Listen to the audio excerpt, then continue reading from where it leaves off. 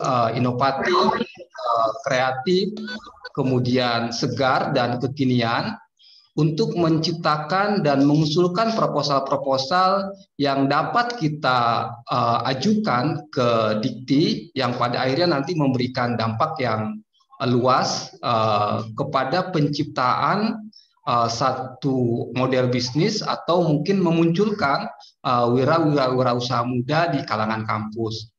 Nah, untuk itu uh, saya uh, mendorong kepada mahasiswa untuk memanfaatkan uh, momen ini untuk menggali lebih jauh, uh, mendalam, agar menciptakan suatu gagasan, suatu yang inovatif, kreatif, dan kekinian.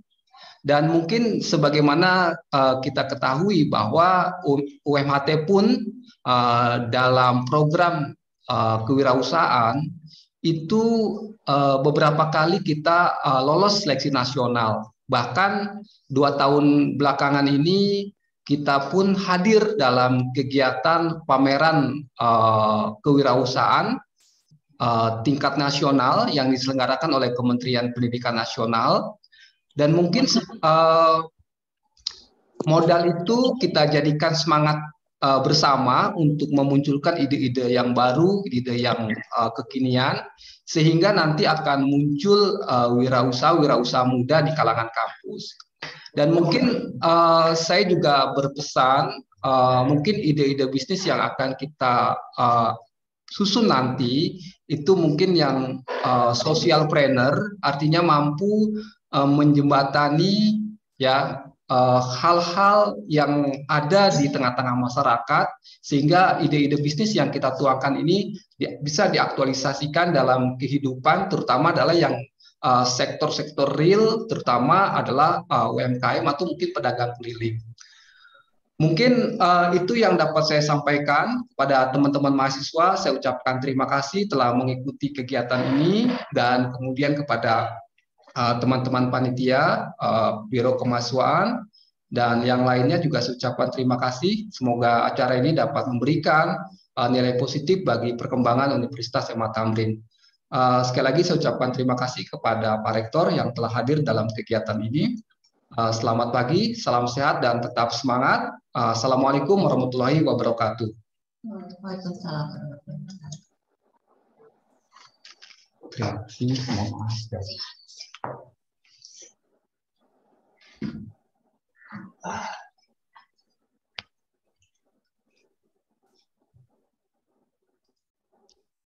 Terima kasih Pak Hasan atas uh, sambutan dan motivasi kepada adik-adik mahasiswa. Uh, acara sambutan selanjutnya adalah supaya teman-teman, Bapak Ibu semua ya, ya. memahami lebih dalam tentang sosialisasi P2MW ini, marilah kita ikuti bersama. Sambutan dari Rektor Universitas Muhammad Musi Tamrin kepada Bapak Dr. Daeng Muhammad Fakih SHMH, kepada Bapak kami persilahkan. Monggo Pak Rektor, silakan Pak. Ya, makasih Bu Widi. Assalamualaikum warahmatullahi wabarakatuh. Uh, selamat pagi salam sejahtera dan salam sehat untuk kita semua. Yang saya hormati eh, kepala saya saya sambut dulu nih kepala biro kemahasiswaan yang apa punya eh, acara nih tuan rumah. Bu Ocha ada ya Bu Ocha ya. Kemudian eh, para krunya di Bu Widi, Bu Nina, kemudian tadi yang memberikan sambutan ketua lembaga wirausaha ya tadi. Saya lupa tuh Pak Hasan Basri. Pak Hasan, iya dok. Iya dok.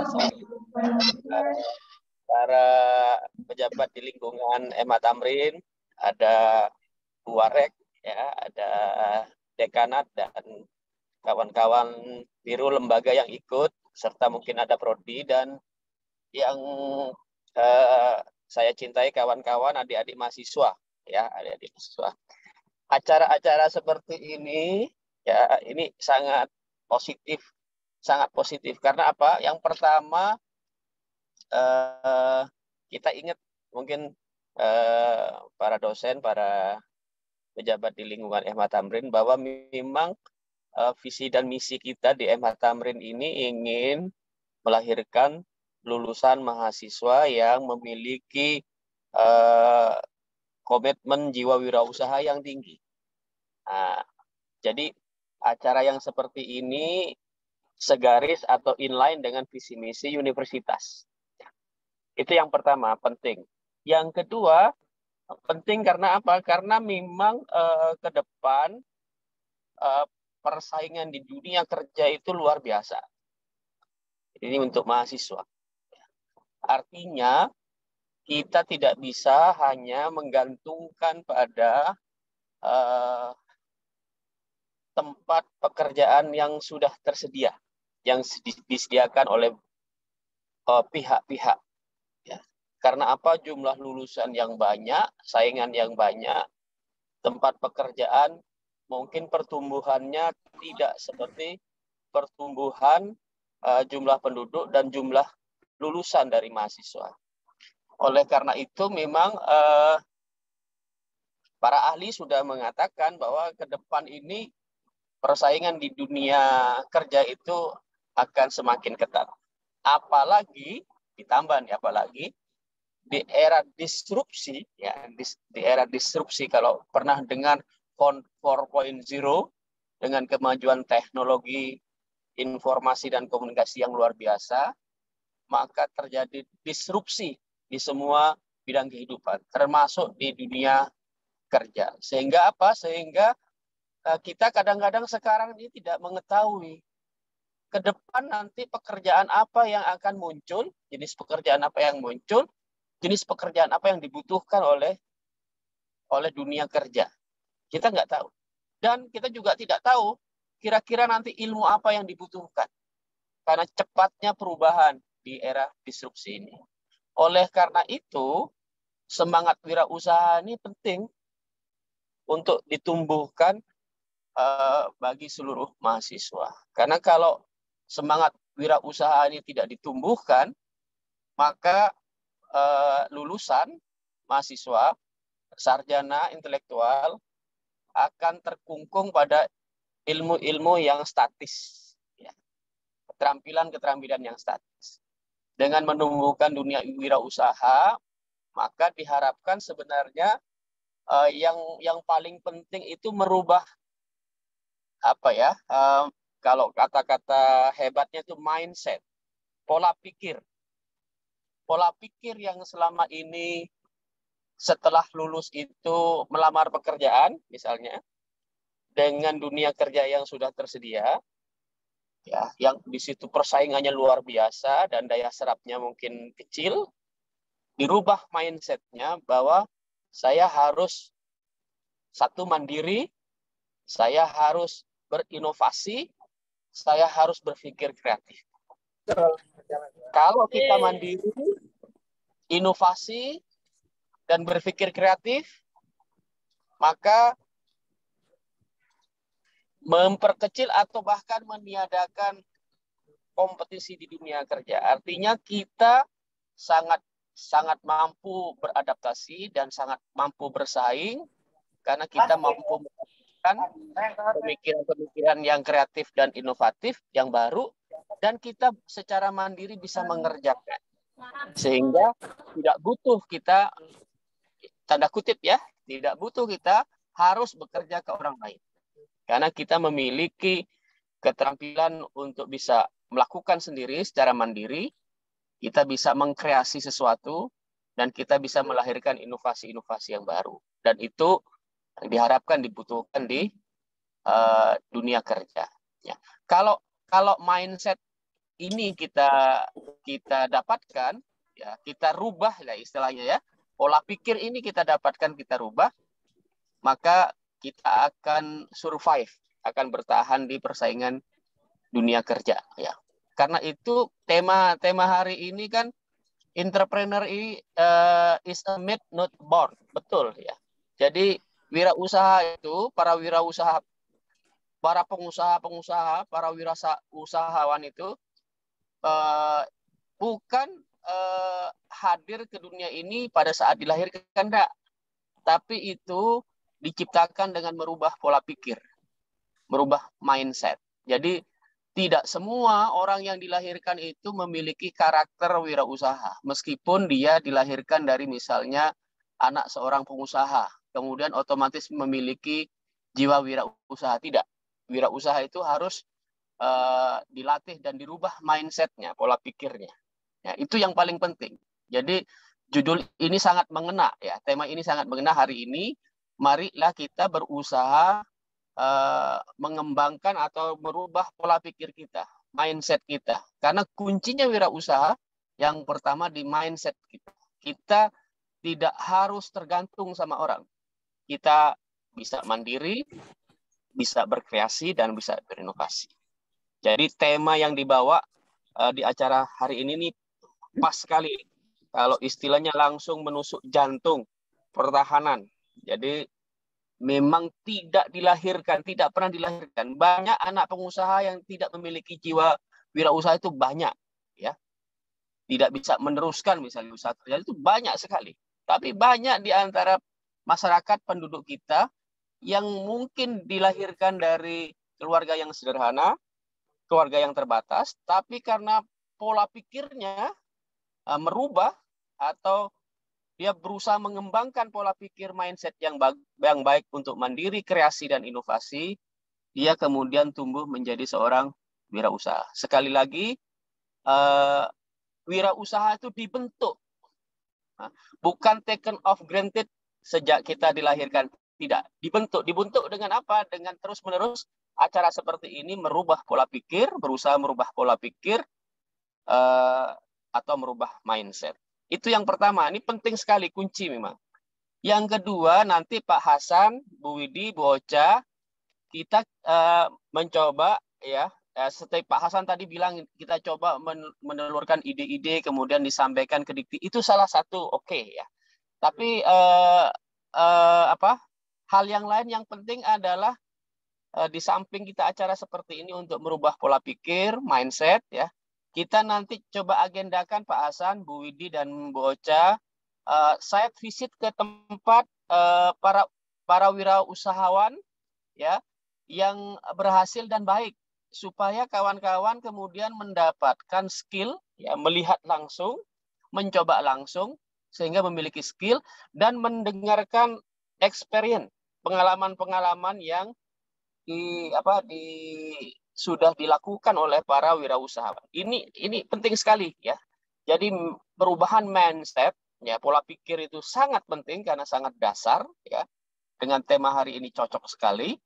Tetapi kemudian saya visit ke eh, tempat-tempat eh, pengembang wirausaha untuk eh, melihat langsung kemudian mendapatkan ilmunya secara langsung, kemudian mendapatkan keterampilan ya teknisnya bisa kemudian kita adopsi sekaligus mendapatkan cerita-cerita pengalaman yang berharga. Nah, kalau itu kita lakukan, eh, saya kira nanti akan lengkap, akan lengkap eh, mahasiswa kita akan apa eh, adik-adik mahasiswa akan mendapatkan banyak apa ya kalau kalau dikatakan dalam bahasa ini literasi literasi tentang wirausaha ini sehingga memang kalau sudah lengkap nanti akan lebih siap menghadapi dunia kerja. Nanti Pak Hasan, Bu Widi, Bu Ocha nanti saya coba carikan ya tempat-tempat yang nanti sewaktu-waktu mahasiswa uh, site visit ke tempat-tempat wirausaha untuk tadi di samping kita acara seperti ini merubah pola pikir, pola mental ya, mindset, tapi kita juga memperkenalkan mahasiswa itu langsung melihat mendapatkan ilmunya yang aplikatif ya memiliki keterampilan teknis di tempat itu sekaligus mendengarkan eh, pengalaman-pengalaman yang sudah dilakukan oleh uh, pelaku wirausaha. Jadi uh, antara teoritik untuk merubah sikap ya, kemudian uh, site visit langsung, melihat langsung, mendapatkan keterampilan langsung dan mendapatkan eh, masukan-masukan uh, tentang pengalaman secara langsung itu sangat penting. Misalnya ya pengalaman, misalnya bagaimana uh, pengelolaan uang yang baik, ya. Uh, pengalaman misalnya uh, mencari modal yang mudah ya. Misalnya ke perbankan ke sumber-sumber pemodalan yang lain. Itu kalau kita datang dan diceritakan langsung pengalaman bahkan bisa dibentuk link ya dibentuk jejaring dengan para wirausahawan itu sangat baik. Yang terakhir saya sampaikan eh, adik-adik sekalian para mahasiswa jadi wirausaha itu jauh lebih mulia dari hanya sekedar menjadi pekerja. Kalau menjadi pekerja itu kebaikannya hanya untuk kita sendiri, mungkin plus istri anak kita. Tapi menjadi wirausahawan jauh lebih mulia. Karena apa? Karena kebaikannya itu nanti bisa untuk kita, istri atau pasangan kita, anak kita, keluarga kita, tapi kita bisa juga memberikan penghidupan eh, kepada keluarga-keluarga yang lain. Makanya wirausahawan itu jauh lebih mulia. Ya kalau kalau dalam ilmu agama itu ya mohon maaf saya bukan ustadz.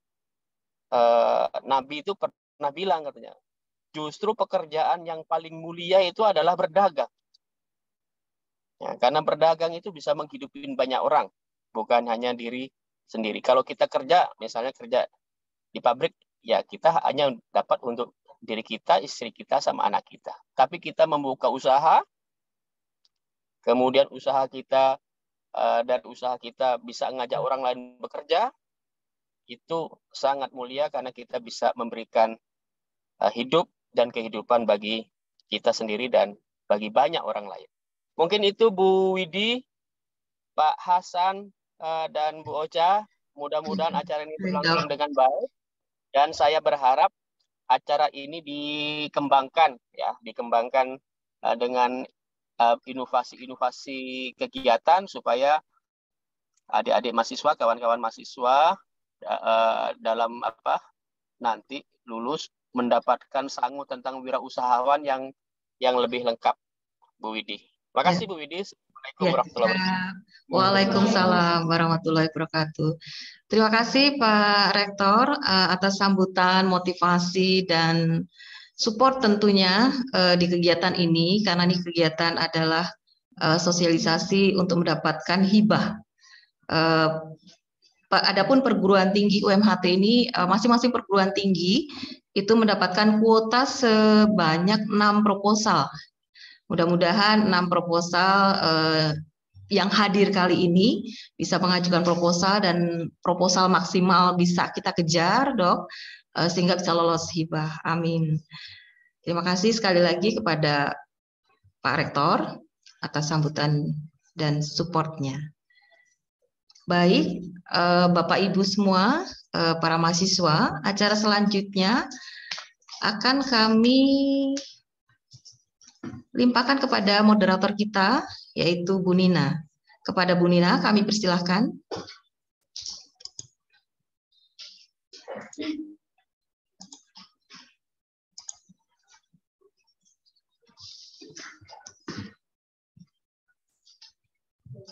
Thank you. Thank you.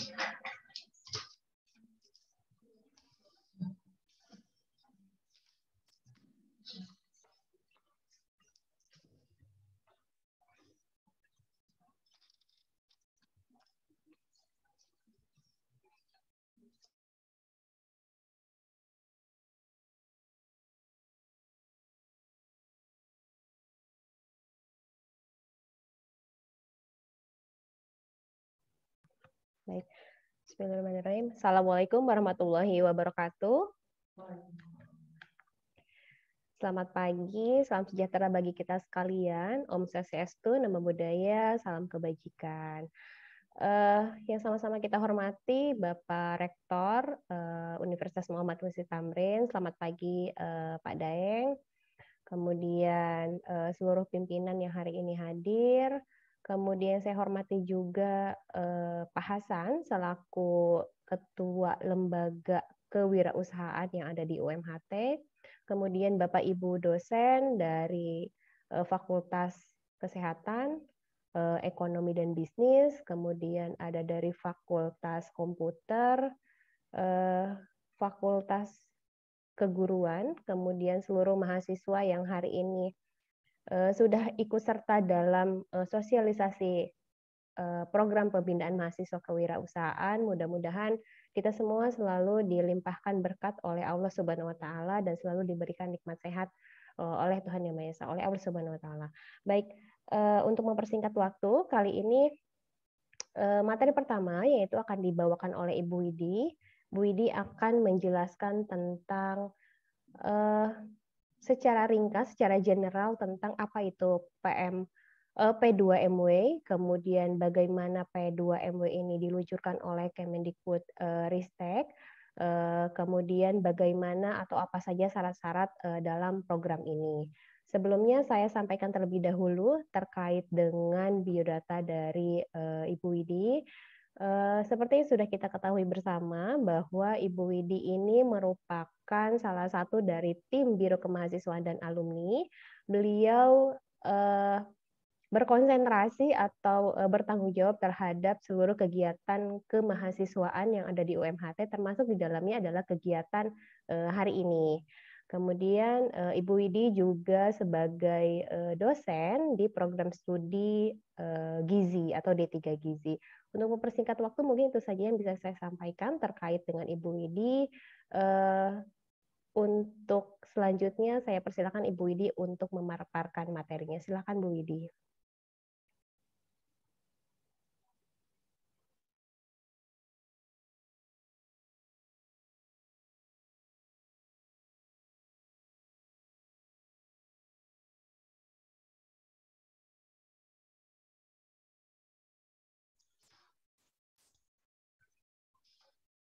Baik, terima kasih Bu Nina. Bapak Ibu izin saya share, saya mulai saja untuk pengantar P2MB karena ini terkait dengan hibah.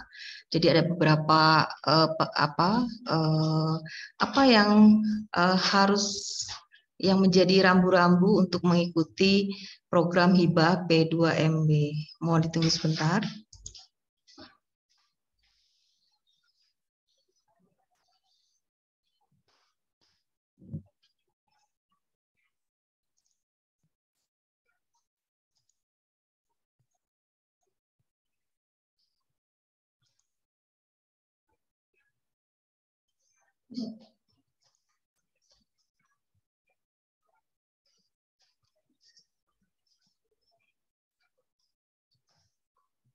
Baik, sudah terlihat Bapak Ibu?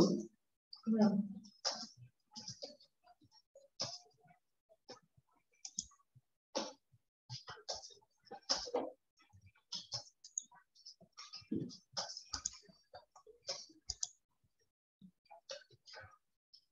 Ya.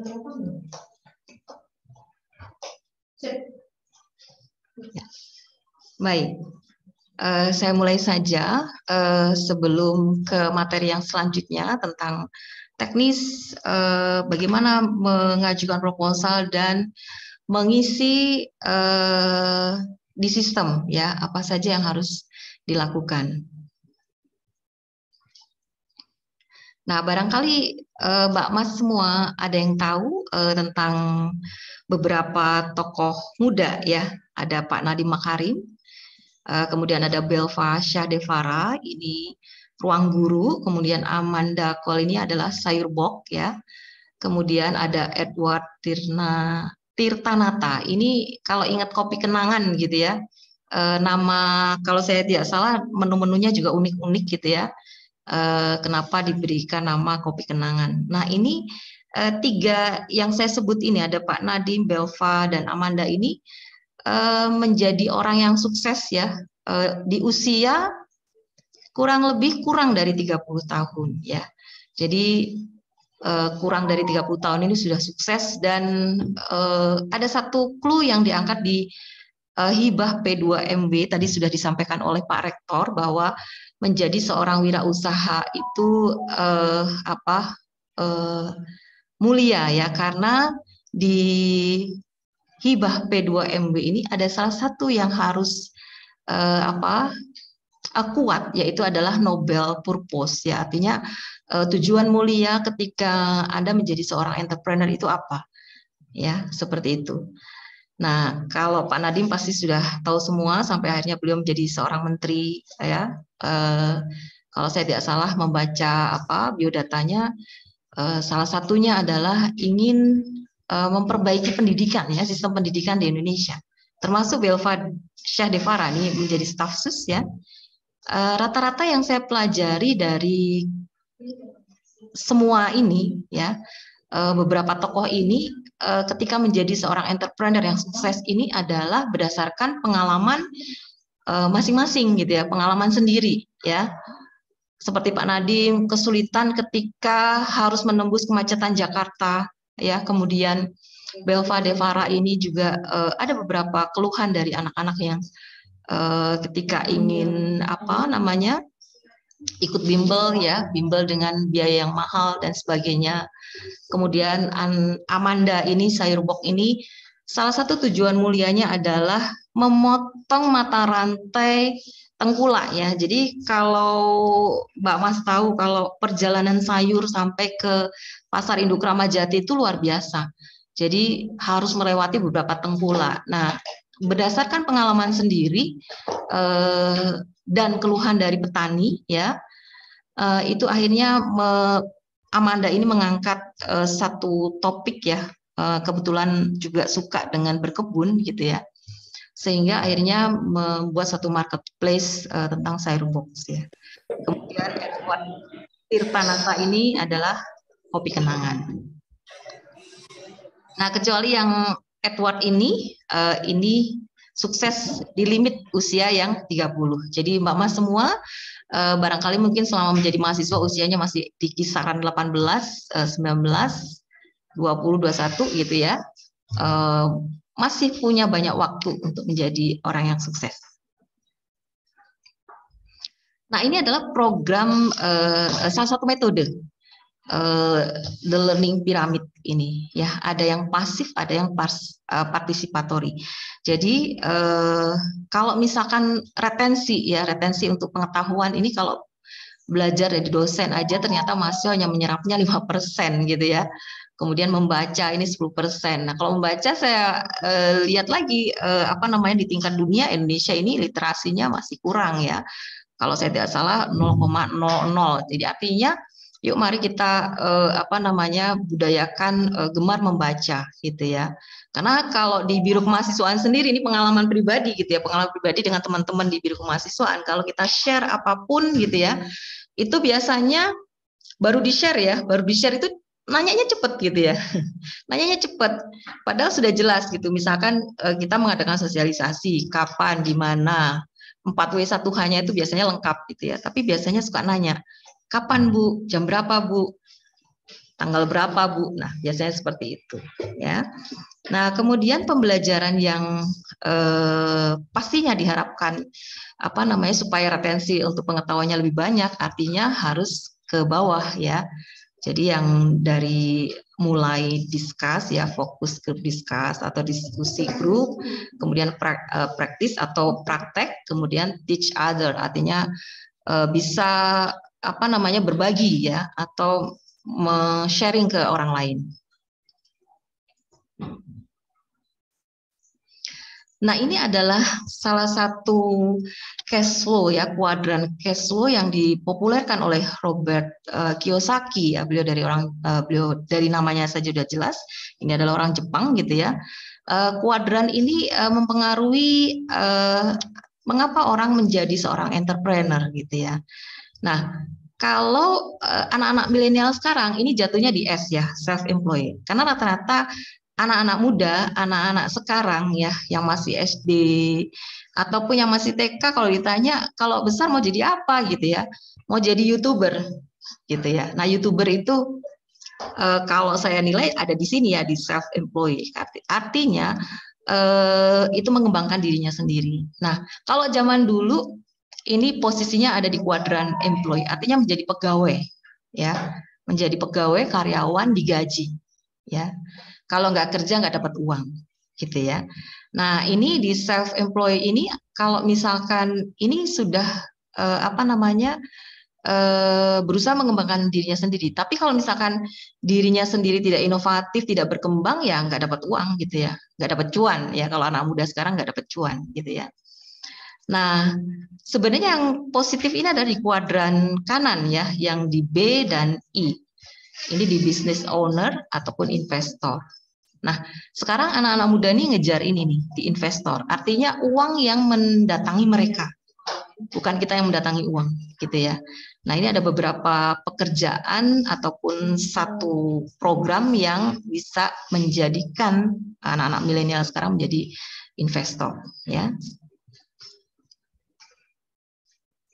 Nah, kebanyakan orang ini uh, tidak cukup keberanian untuk menjadi seorang entrepreneur. Tadi sudah di awal sudah disampaikan di sambutannya Pak Rektor bahwa uh, menjadi seorang entrepreneur itu memang uh, harus diproses, harus dibuat, bukan hanya lahir terus menjadi seorang entrepreneur, tidak menjadi jaminan kalau misalkan uh, ayahnya seorang konglomerat atau seorang entrepreneur gitu ya, anaknya sudah otomatis menjadi seorang entrepreneur, tidak tetapi harus diprosesnya. Nah, ini yang butuh keberanian yang lebih untuk menjadi seorang entrepreneur. Nah, kapan uh, dimulai uh, untuk uh, bisnisnya? Rata-rata rata-rata ini berada di usia ini ya, ada di usia uh, maaf, di usia 25 sampai 34 ini usia produktif ini 32 persen usia 35 sampai 44 ini 31 persen. Kemudian eh, ini yang kita garis bawahi ya, mahasiswa ini masih 12 ya, kisaran angka 12 persen untuk menjadi seorang wirausaha ya, artinya masih eh, kecil ya. Nah selebihnya di usia lanjut usia, bahkan ada juga yang menjadi wirausaha setelah usianya 65 tahun ya hanya satu persen gitu ya. Nah harapannya di usia-usia produktif ini yang apa namanya yang eh, sebaiknya ya di Indonesia itu harus lebih banyak ya karena Indonesia sendiri masih eh, merupakan negara dengan peringkat yang terbawah untuk menjadi eh, apa namanya kontribusi untuk menjadi seorang entrepreneur Nah, urgensi mahasiswa untuk berwirausaha karena rasio kewirausahaan Indonesia ini masih rendah. Uh, ini kalau dilihat di wilayah ASEAN saja gitu ya, ini masih di bawah negara Thailand ya, Malaysia dan Singapura. Saya ingat sekali dulu Malaysia itu banyak belajar ke negara Indonesia, tapi sekarang kita kebalikan ya, belajar ke negara Malaysia gitu ya. Kemudian Direktorat Pembelajaran dan Kemahasiswaan ini Dirjen Diktiristek ini berkomitmen untuk mendukung penguatan perekonomian Indonesia dengan mencetak SDM wirausaha. Nah, kita lihat dari program-program Kemendikbud ya, eh, contohnya PKM ya, PKM yang paling banyak diminati oleh mahasiswa ini adalah PKM kewirausahaan, gitu ya. Kemudian P2MB ini merupakan program pengembangan usaha mahasiswa yang telah memiliki usaha melalui bantuan dana pengembangan dan pembinaan dengan melakukan pendampingan serta pelatihan, coaching usaha. Nah, kemudian perguruan tinggi dan mahasiswa berkesempatan untuk mengikuti program MBKM. Jadi eh, nanti selain mendapatkan hibah juga ada pengakuan untuk SKS eh, ya. Penyetaraan SKS. Nah, tujuannya adalah eh, dengan P2MW ini Uh, ini prinsipnya adalah pengembangan karakter kreatif teknopreneur ini meliputi pengembangan kepemimpinan kolaboratif ya kemudian kreatif problem solving kemudian inovatif eksekusi uh, berbasis teknologi dan keberanian mengambil resiko tetapi yang terukur kemudian perguruan tinggi yang mengembangkan program pembinaan kewirausahaan yang berbasis pada luaran IKU. Jadi sekarang uh, indikatornya adalah IKU ya, IKU perguruan tinggi. Perguruan tinggi ini mengembangkan jejaring kerjasama dengan DUDI, dunia usaha dan dunia industri, untuk menciptakan ekosistem yang kondusif untuk pengembangan kewirausahaan berbasis pada pengalaman atau experiential learning. Ya. Kemudian ini membantu uh, manfaatnya adalah membantu peningkatan kapasitas perguruan tinggi dalam pembinaan kewirausahaan yang berprinsip pada pengembangan karakter dan mendukung ketercapaian IKU perguruan tinggi. Jadi kalau saya ingat uh, dulu gitu ya saya kalau kalau sering diskusi sama Bu Ocha gitu ya, pengen rasanya menjadi mahasiswa sekarang karena pada zaman saya dulu ya saya kuliah tahun 80-an ini enggak ada tuh uh, apa namanya program pembinaan dari uh, Kementerian Pendidikan gitu ya. Sekarang sudah banyak sekali. Kalau saya tidak salah dalam tahun 2022 aja sudah ada beberapa hibah yang digelontorkan oleh Kemendikbudristek. Nah, persyaratan perguruan tinggi ini adalah perguruan tinggi akademik. Jadi mohon maaf untuk yang tingkat diplom gitu ya. Jadi ini masih untuk S1 gitu ya. Kemudian melaksanakan proses seleksi internal. Jadi nanti kita seleksi karena di perguruan tinggi dibatasi seba, kalau saya dasar jumlah enam proposal saja, artinya ada enam kelompok gitu ya. Jadi kalau misalkan yang daftar 12 nanti kita seleksi di internal gitu ya. Kemudian eh, ini dari Biro Kemahasiswaan ya membuat surat pernyataan kesediaan melaksanakan program yang ditandatangani oleh pimpinan perguruan tinggi. Kemudian kategori usaha yang diusulkan oleh perguruan tinggi maksimal dua kelompok. Nanti akan dijelaskan lebih lanjut oleh Bu Nina. Ada beberapa skema. Jadi eh, kalau saya tidak salah ada lima skema ya gitu ya. Nah satu skema itu maksimal dua, tidak boleh lebih dari tiga ya. Sehingga eh, apa eh, satu skem eh, tidak sama seperti PKM kalau PKM kan ya monggo aja mau daftar di mana gitu ya. Tetapi ini skemnya eh, dibatasi hanya dua satu skema. Kemudian setiap kelompok wajib didampingi oleh satu dosen pembimbing atau mentor. Nah, persyaratan mahasiswa tadi saya sudah sampaikan untuk S1 saja sementara ini dulu gitu ya. Kemudian setiap kelompok terdiri dari ketua dan anggota dengan jumlah 3 sampai 5 mahasiswa. Kemudian kelompok usaha minimal sudah memiliki prototipe ya, prototipe usaha dibuktikan dengan dokumentasi produk ya. Kemudian proposal usaha yang diusulkan tidak sedang menerima pendanaan sejenis dari sumber APBN. Nah, saya lupa uh, di awal tadi bahwa program P2MB ini merupakan uh, apa ya? Dulu namanya KBMI, sekarang sudah bertransformasi ya istilahnya ya, bertransformasi menjadi P2MB. Nah, ini adalah kategori usahanya ya. Tadi yang saya sampaikan di awal ada lima skem ya, ada makanan dan minuman. Nah, makanan minuman ini menghasilkan produk makanan dan minuman baik dari bahan mentah menjadi setengah jadi atau ya atau maupun bahan setengah jadi e, diolah menjadi produk akhir. Tapi ini bukan reseller ya, Mbak Mas ya. Jadi bukan reseller di sini di program P2MW. Contohnya makanan, snack, minuman. Kemudian produksi atau budidaya. Proses produksi dari hulu ke hilir eh, bidang-bidang agro kompleks ya, pertanian, tanaman pangan, hortikultura, kehutanan, peternakan dan perikanan ya.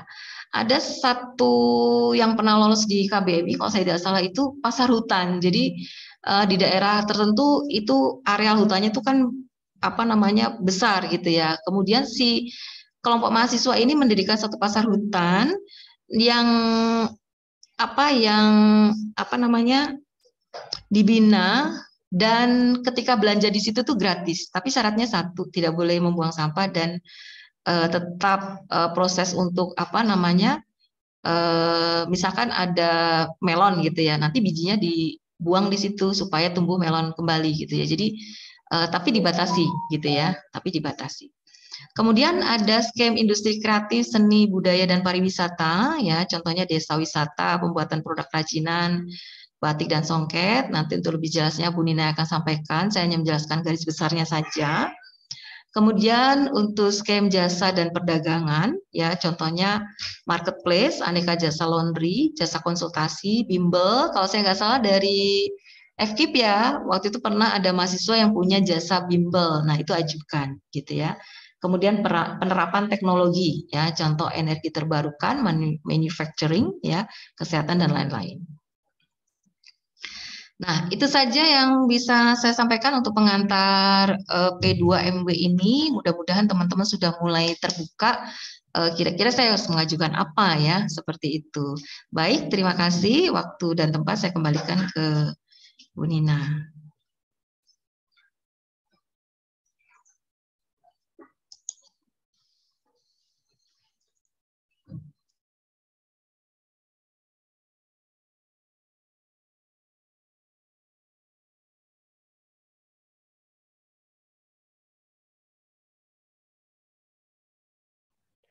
Baik, terima kasih banyak Bu Widi atas paparannya terkait dengan uh, secara umum tentang program pembinaan mahasiswa wirausaha. Tadi sudah disampaikan oleh Bu Widi bahwa uh, kegiatan ini bisa dilakukan atau bisa diikuti oleh mahasiswa yang berada pada program studi S1 gitu ya. Jadi uh, PT akademik sebetulnya. Jadi mohon mohon maaf untuk yang uh, diploma pada kesempatan ini belum bisa mengikuti. Kemudian tadi sudah dijelaskan juga bahwa di tahun sebelumnya kita mengenal istilah KBMI ya. Tahun lalu juga ada yang mengikuti KBMI, kemudian ada yang sampai mengikuti KMI Expo kalau tidak salah itu uh, di Malang ya di bulan November lalu. Namun pada tahun ini uh, sudah berubah, sudah bertransformasi menjadi uh, P2MW. Kemudian teman-teman atau ibu bapak sekalian, jika ada yang mau ditanyakan mungkin uh, nanti bisa mengetik dahulu di kolom chat ya, karena nanti kita akan lanjut materi uh, selanjutnya. Nanti uh, di akhir materi, paparan materi, tadi materi pertama oleh Bu Widi, kedua oleh saya, nanti yang ketiga oleh Bu Ocha. Kalau ada yang ditanyakan bisa mengetik pertanyaan tersebut di kolom chat, nanti kita akan jawab setelah panel paparan materinya. Baik, terima kasih Bu Widi. Untuk selanjutnya yaitu materi yang akan dipaparkan oleh saya sendiri ya ini. Mohon izin saya untuk uh, share screen, Bapak Ibu sekalian, teman-teman mahasiswa.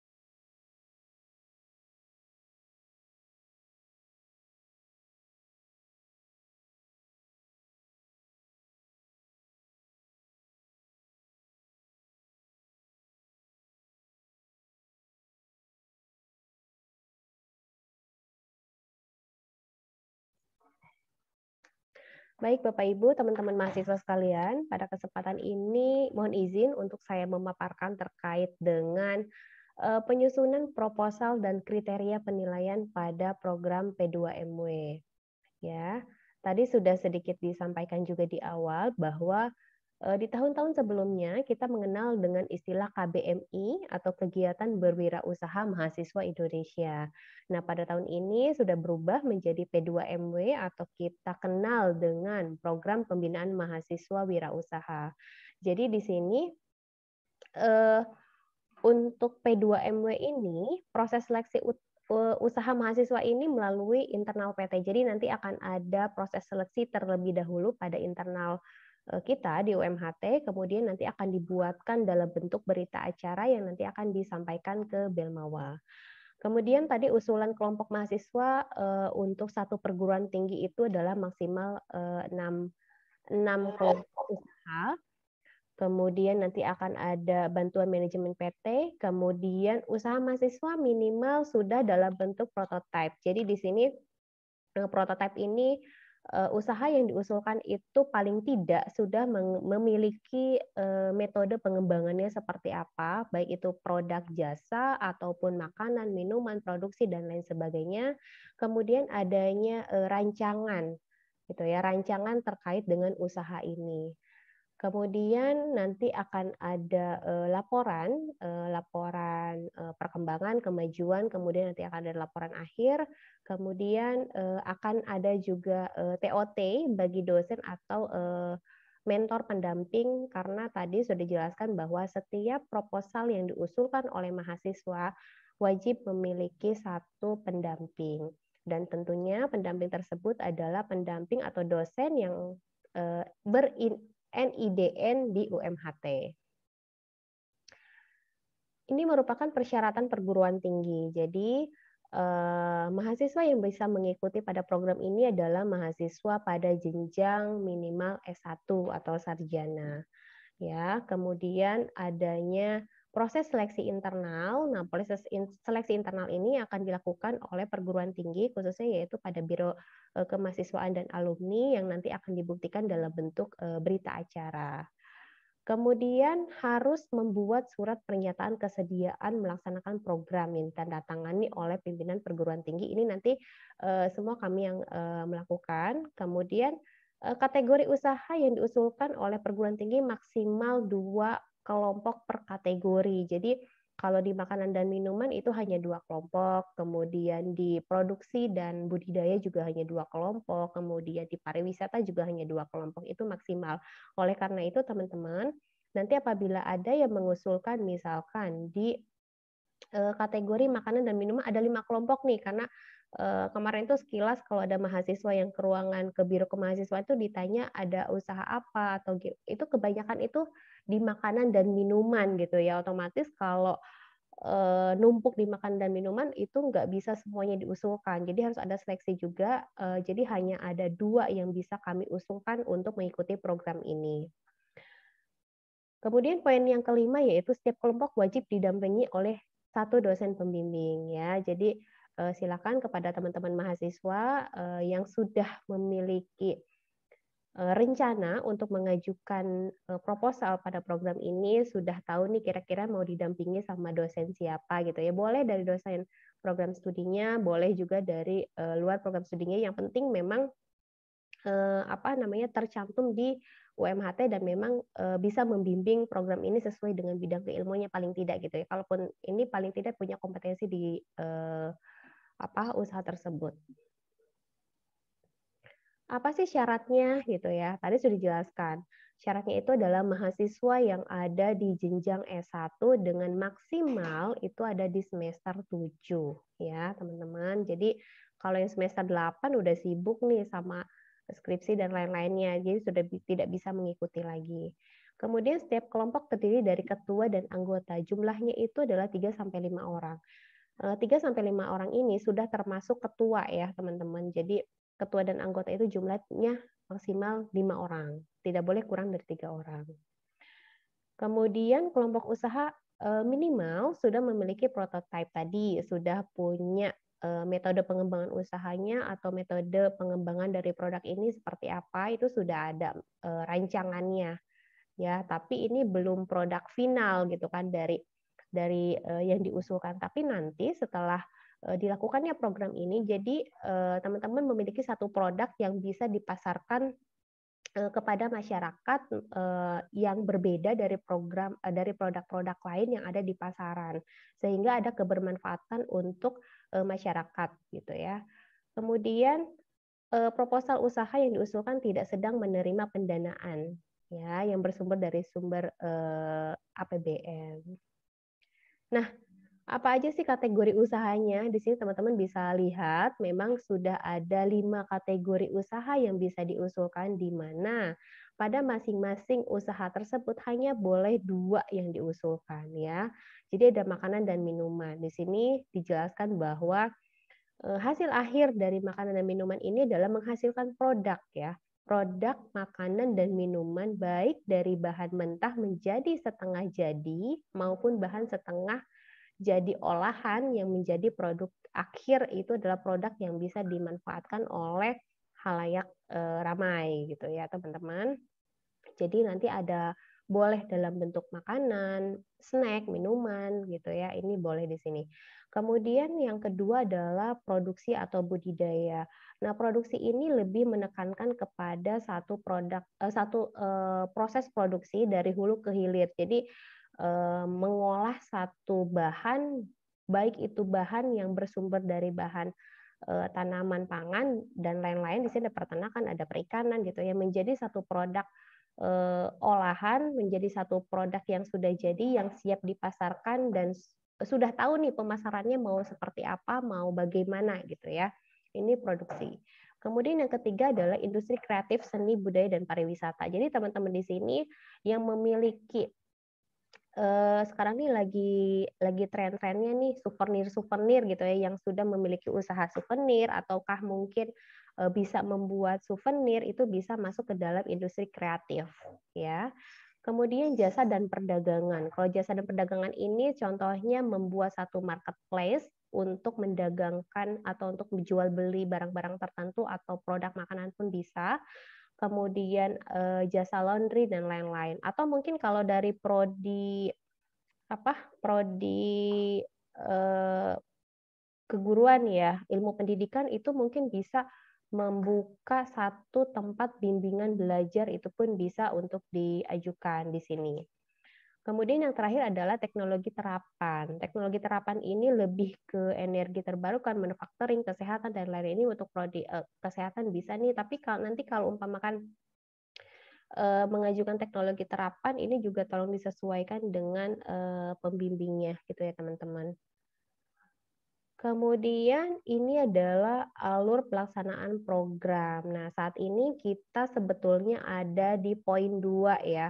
Eh, minggu lalu sudah ada sosialisasi program dari Kemendikbud. Nah, saat ini adalah sudah ada di tahap penerimaan proposal di perguruan tinggi. Jadi teman-teman apabila sudah mengikuti kegiatan ini, sudah mengikuti sosialisasi ini, bisa langsung membentuk satu eh, satu kelompok untuk mengajukan proposal ke perguruan tinggi ke kami. Nanti di kami akan ada seleksi dulu ya di poin 3, kemudian nanti akan Eh, diusulkan apabila memang proposal yang teman-teman ajukan itu sudah memenuhi kriteria eh, poin-poin yang sudah ada di apa yang sudah ditentukan oleh Kemendikbud. Nanti kami usulkan. Kemudian nanti setelah diusulkan akan ada seleksi kembali di Direktorat Birmawa baru setelah itu akan ada pengumuman ya siapa-siapa saja yang eh, mendapatkan hibah pada program ini baru nanti setelah ada pengumuman akan ada TOT eh, nih ya.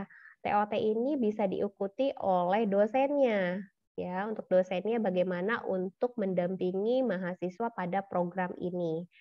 Kalau tahun kemarin itu uh, dalam bentuk online ya. Kemudian ada peningkatan kapasitas pengelola kegiatan kewirausahaan di perguruan tinggi dan ada monitoring. Monitoring ini dilakukan uh, oleh kami dan oleh Belmawa. Nanti di paling akhir ya teman-teman setelah melakukan laporan akhir itu akan ada Festival Inovasi Mahasiswa Indonesia atau FIMI. Sekarang dikenal FIMI. Kalau tahun lalu kita mengenalnya dengan KMI Expo di Malang. Dan sedikit bocoran teman-teman, apabila memang nanti lolos eh, Festival Inovasi Mahasiswa Indonesia ini pun kemungkinan besar akan dilakukan di Malang kembali ya, tapi untuk tempatnya itu masih Eh, ada tiga tempat tapi belum ditentukan yang mana yang nanti akan menjadi tuan rumah. Dan kegiatan Festival Inovasi Mahasiswa Indonesia ini atau FIMI atau dulu yang kita kenal sebagai KMI Expo itu eh, sangat luar biasa ya kegiatannya karena diikuti oleh seluruh mahasiswa di Indonesia dan itu banyak sekali eh, apa materi-materi yang bisa didapat atau paparan dari para narasumber yang wirausaha secara nasional yang bisa kita serap ilmunya di sana ya teman-teman. Jadi bukan seben, bukan hanya sekedar pameran expo menjual makanan, minuman, craft dan lain-lain bukan hanya seperti itu, tapi juga ada pembekalan materi dari narasumber yang uh, secara langsung yang memiliki usaha bahkan CEO juga banyak hadir di situ ya teman-teman. Mudah-mudahan kita bisa mencapai ke langkah 10 ini. Nah, pengusulan dan seleksi. Tadi sudah dijelaskan seleksinya ada dua kali ya teman-teman. Jadi ada seleksi dari perguruan tinggi, kemudian nanti ada akan ada seleksi dari Belmawa. Nah, eh, kalau memang kita ternyata di UMHT ini banyaknya itu lebih ke makanan minuman gitu ya. Saya eh, highlight di situ karena kemarin banyak sekali mahasiswa ternyata usahanya di makanan dan minuman. Itu otomatis harus ini nih eh, harus bersaing sama teman-teman yang lainnya bagaimana caranya supaya proposal yang diajukan itu bisa memenuhi syarat kriteria menarik untuk diusulkan untuk kami usulkan ke eh, Belmawa gitu ya teman-teman.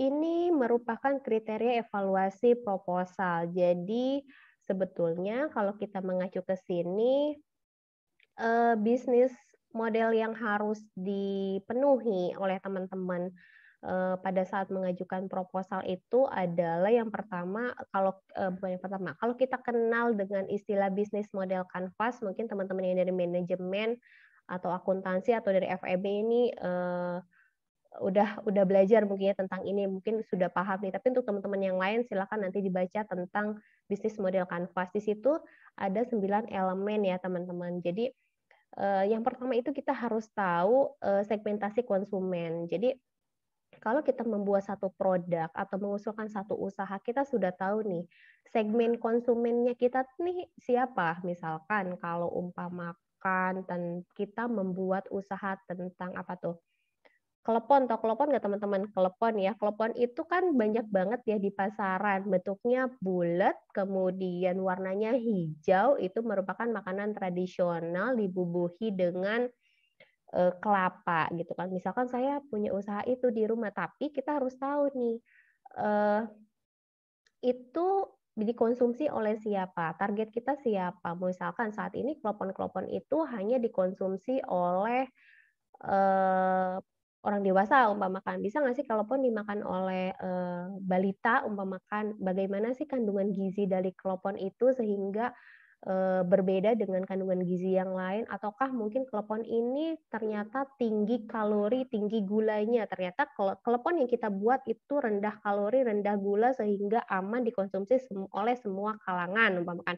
Atau eh, apa tuh namanya kelapanya itu diganti menggunakan apa atau kleponnya udah nggak warna hijau lagi jadinya warna-warni atau bagaimana itu eh, seperti itu. Jadi kita tahu eh, konsumen kita ya. Kemudian proporsi nilai konsumen. Jadi sini keunggulan produk tadi. Kalau produk di pasaran itu tadi kloponnya itu tinggi kalori tinggi gula. Nah produk kita enggak loh gitu kan ternyata e, nilai gizinya jauh lebih baik dari yang ada di pasaran itu hanya contoh saja ya teman-teman Kemudian saluran ya, kalau poin tiga itu adalah saluran. Jadi media. Selama ini kita memasarkan klepon itu melalui apa? Oh ada Instagramnya, ada Facebooknya, ada pemesanan misalkan melalui WhatsApp atau melalui apa itu ada ada media yang digunakan untuk eh, apa menjual atau memasarkan eh, produk usaha kita. Begitupun dengan jasa ya teman-teman. Jadi eh, jasa kita itu kalau tadi kan ada poin jasa itu eh, promosinya lewat mana itu ya itu harus disampaikan. Kalau perlu itu di cantumkan link Instagramnya, link Facebooknya gitu kan, atau bukti dari uh, pemasaran kita di dalam uh, proposal yang kita ajukan. Kemudian poin yang ketiga dari bisnis model kanvas itu adalah sumber pendapatan. Nah, kita juga harus dijelaskan bahwa kita ini memperoleh pendapatan dari pelanggan itu eh, dari bulan ke bulan itu biasanya berapa sih gitu kan ada peningkatan, penurunan atau bagaimana. Kemudian boleh nih dihubungkan dengan pandemi saat ini apakah mengalami penurunan itu uh, silahkan disampaikan di proposalnya teman-teman. Kemudian kita harus menjelaskan juga terkait dengan sumber daya Jadi Eh, sumber daya ini mulai dari kita menjelaskan mulai dari pengolahan bahan baku. Misalkan si kelopon ini diolah dari apa sih? Tepung beras ya kalau nggak salah.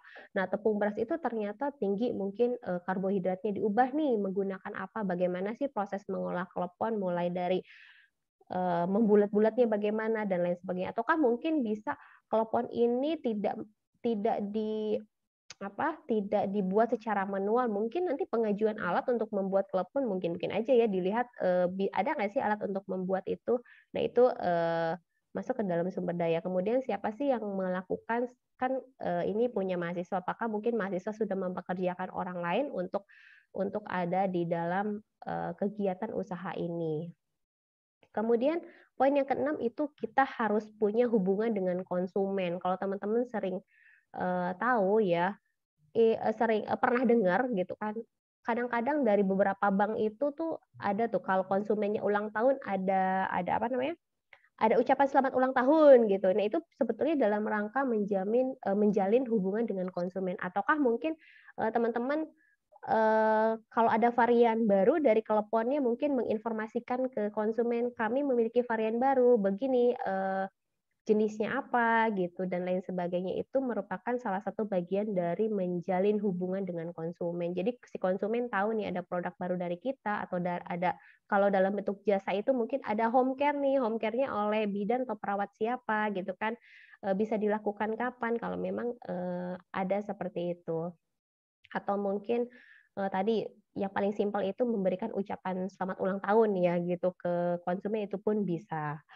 Kemudian aktivitas yang dijalankan poin yang ketujuh ya. Aktivitas ini berhubungan dengan produktivitas bisnis yang berkaitan dengan sebuah produk. Jadi eh, bagaimana sih proses kita pada saat membuat produk itu? Tadi mulai dari eh, bahan-bahan bakunya itu kita ambil dari mana? Kemudian kita dibuat membuatnya menggunakan apa? Caranya seperti apa sampai produk itu jadi sampai produk itu dipasarkan ya.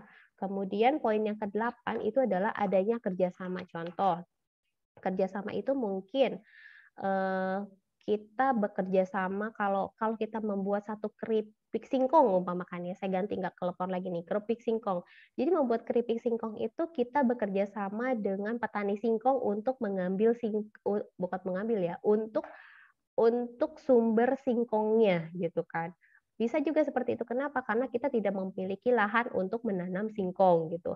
Nah itu bisa itu bentuk kerjasama atau mungkin kerjasama dalam bidang pemasarannya pun bisa.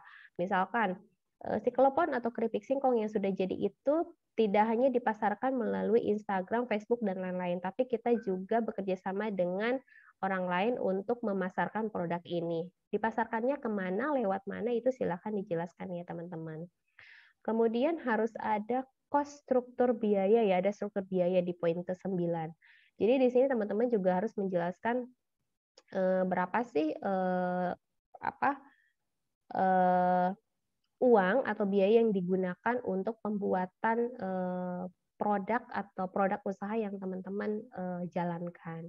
Seperti itu ya teman-teman. Jadi kalau itu secara rinci. Jadi nanti pada saat membuat proposal usahakan menggunakan sembilan elemen tadi ya. Kalau teman-teman nanti bisa baca kembali elemennya itu ada di dalam model kanvas ya. Jadi eh, harus ada eh, di sini kalau kriteria evaluasi proposal itu 10 persennya itu tujuan mulianya untuk apa sih usaha ini didirikan. Kalau tadi kan saya menjelaskan tentang si klepon ya. Jadi kalau yang tersedia ini mungkin bisa dijelaskan dari penduduk Indonesia itu sekian puluh ribu atau berapa juta orang yang penyuka klepon tetapi ternyata angka diabetesnya terlalu tinggi. Jadi kami menawarkan satu produk yang memang eh, bisa diminati, bisa dinikmati oleh semua kalangan tanpa berisiko terjadinya diabetes. Mungkin kayak gitu juga bisa dicantumkan di teman-teman. Tadi konsumsi konsumen potensial sudah, produknya ya produk itu 30%, penilaiannya produk memiliki keunikan tadi pembedanya apa, keunikannya apa, gitu kan, menjawab masalah dan memenuhi kebutuhan konsumen. Contohnya lagi dengan masa pandemi mungkin bisa home care dan lain-lain tuh bisa. Kemudian sumber dayanya bagaimana ya. Jadi nanti teman-teman silahkan dibaca kembali untuk model kanvas mengacunya ke situ. Ini 10%, eh, 30% eh, ini merupakan persentase pada kriteria evaluasi proposal. Tapi pada saat penyusunan proposal kita mengacunya kepada bisnis model kanvas. Oke, teman-teman. Kita masuk ke jadwal pelaksanaan. Jadi di jadwal pelaksanaan kita sudah berada di bulan April dan Mei. Tadi sudah saya sampaikan sebetulnya pada bulan Mei ini kita sudah eh, ada di tahap pengusulan ya. Jadi pengusulan dari proposal teman-teman yang masuk nanti ke biro akad biro kemahasiswaan dan alumni itu akan kami seleksi. Setelah itu nanti akan kami buatkan dalam bentuk berita acara layak atau tidak layak untuk diusulkan. Setelah itu nanti kami usulkan ke Bilmawa selanjutnya nanti tinggal nunggu uh, informasi dan berdoa ya teman-teman. Mudah-mudahan kita bisa sampai uh, ke tahapan 10 yaitu di bulan November ini eh, apa ada festival ya teman-teman. Kemudian alokasi dan pendanaan. Nah, kalau di grup-grup itu teman-teman kalau tergabung ya di grup kemahasiswaan itu sudah disampaikan ya sama Bu Ocha, ada 20 juta loh yang bisa diserap oleh teman-teman pada program kewirausahaan ini ya. 20 juta ini ke mana aja sih larinya? Jadi porsinya itu 80% untuk pengembangan usaha mahasiswa, kemudian 20%-nya untuk manajemen pengelolaan bantuan ya.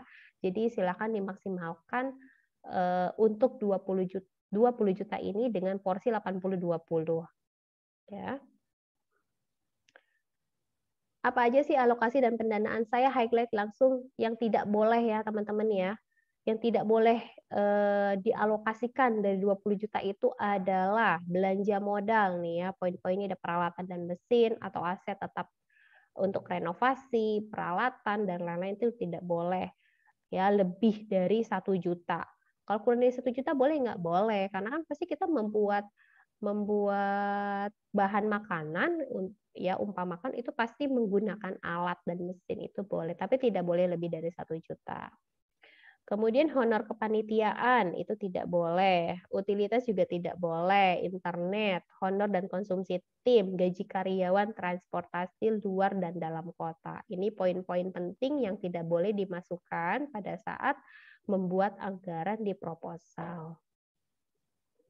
Nah, kita sering dengar ya MBKM gitu ya. MBKM itu artinya setiap kegiatan setiap kegiatan yang dilakukan itu bisa nggak sih dikonversikan gitu ya SKS sangat bisa ya teman-teman. Jadi teman-teman yang mengikuti kegiatan ini eh, nanti bisa ini kan kewirausahaan. Mungkin ada mata kuliah kewirausahaan di setiap prodi atau di prodinya nanti bisa ditanya ya.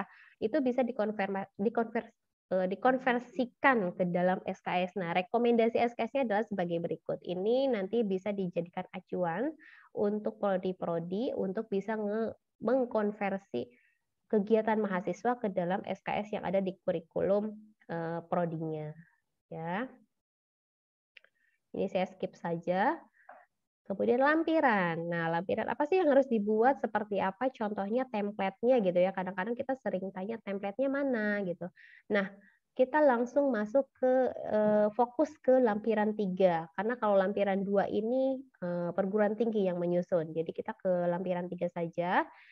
Yang diisi adalah yang pertama yaitu latar belakang. Latar belakang ini tadi udah jelasin uh, tentang model kanvas ya, teman-teman. Jadi di sini harus dijelaskan secara detail tentang profil singkat usaha. Usahanya tentang apa? Bergeraknya di bidang apa? Kenapa sih uh, membuat usaha itu untuk apa? Gitu ya. Jadi ada kategori usahanya, kondisi perkembangannya boleh dijelasin usaha ini berdiri di tahun 2000 umpamakan Terus sekarang eh, awalnya seperti apa, sekarang menjadi berkembang apa menurut bagaimana itu silakan dijelaskan. Itu masuk ke dalam perkembangan usaha. Kemudian struktur organisasi usahanya seperti apa, ya. Jadi ini lebih bercerita tentang usaha teman-teman yang sedang dijalankan.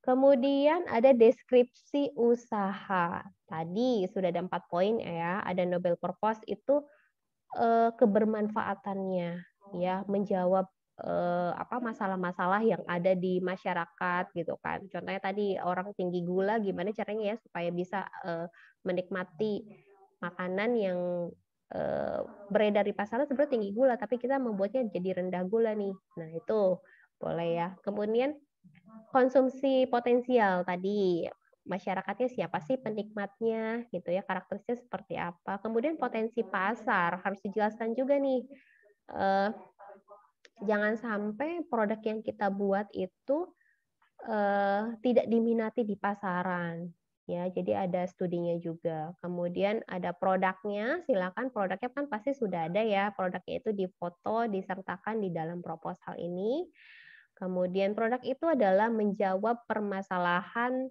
dan memenuhi kebutuhan konsumen ya ini teman-teman poin-poinnya. Kemudian ada sumber daya, tadi juga sudah dijelaskan ya. Sumber daya itu ada keahlian dari masing-masing anggota tim. Nah, misalkan tadi kan ada 3 sampai 5 orang, sudah termasuk ketua di dalamnya. Jadi si A kompetensinya apa nih? Eh, keahliannya dia membuat produk umpamakan. Si B membuat eh, apa namanya? bisnis plan-nya atau mungkin si C uh, dia membuat apa namanya keuangan ya, pelaporan keuangan dan lain-lain itu bisa masuk ke situ. Jadi nanti sesu, uh, sesuai dengan teman-teman keahliannya di bidang apa, jadi dalam tim itu dibagi-bagi, jangan semuanya bertumpuk pada satu orang ya. Dibagi-bagi pembagiannya dalam hal apa? Dalam hal membuat uh, usaha ini ya.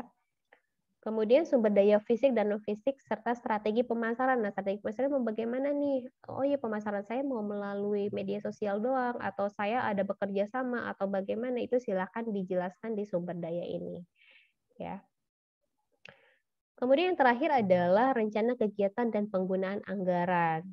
Ya, di sini menjelaskan kegiatan yang akan dilakukan selama program dan rencana penggunaan anggaran. Rencana kegiatan yang disusun harus mengacu pada penjelasan pada bab 2 deskripsi usaha. Jadi eh, di deskripsi usahanya seperti apa, jangan sampai eh, berbeda. Umpamakan tadi kalau pembuatan telepon itu kan berarti membutuhkan tepung beras ya. Kalau kayak gitu berarti di rencana kegiatan dan eh, penggunaan anggaran itu ada tepung beras yang kita anggarkan gitu. Jangan sampai membuat telepon tapi dari singko apa apa tuh ubi umpamakan ya kalau memang memang ternyata membuatnya dari ubi ya berarti anggarannya ada ubi di dalam situ gitu ya teman-teman. Jadi harus nyambung nih antara yang mau dibuat dengan anggaran yang diusulkan ya. Kemudian legalitas perizinan sertifikasi dan standarisasi itu boleh. Mungkin teman-teman ingin membuat izin usaha rumah tangga ada usahanya itu boleh diajukan dianggarkan di dalam situ karena 20 juta kayaknya cukup ya teman-teman Gitu. Tapi kalau untuk halal kayaknya kepengurusannya agak lama ya kalau untuk eh, mengajukan misalkan sertifikat halal, label halal itu agak lama. Mungkin lebih ke usaha rumah tangga ya teman-teman kalau sedikit masukan kalau memang mau diajukan untuk perizinan. Ini rencana kegiatan dan penggunaan eh, anggaran ini ini nggak perlu dimasukkan eh, dulu ya teman-teman.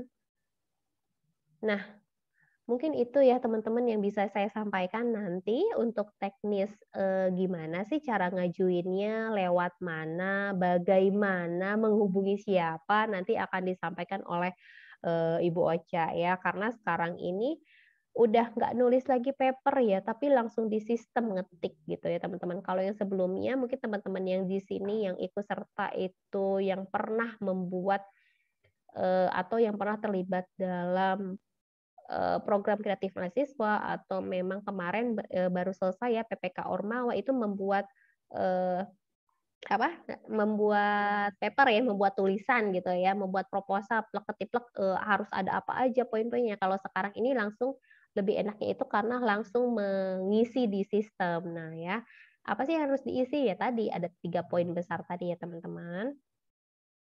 Oke, mungkin itu yang bisa saya sampaikan karena Eh, kita sudah setengah 12 ternyata ya teman-teman. Jadi eh, kita mungkin bisa lanjut saja untuk materi yang ketiga.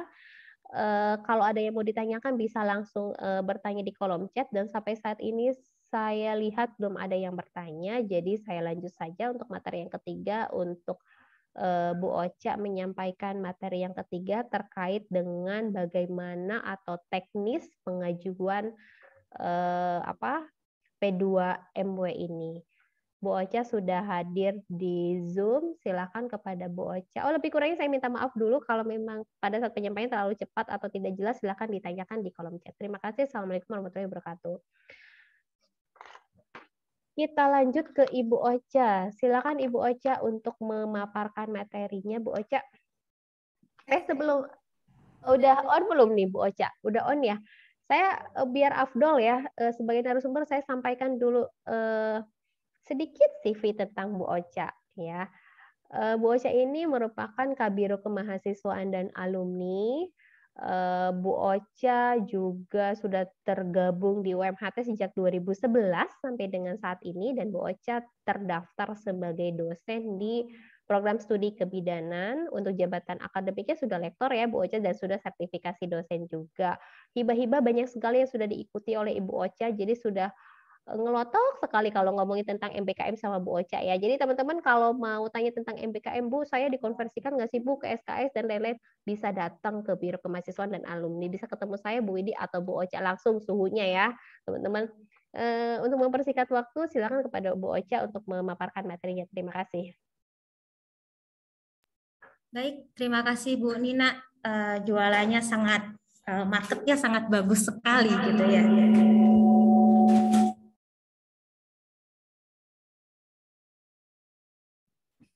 Oke, baik.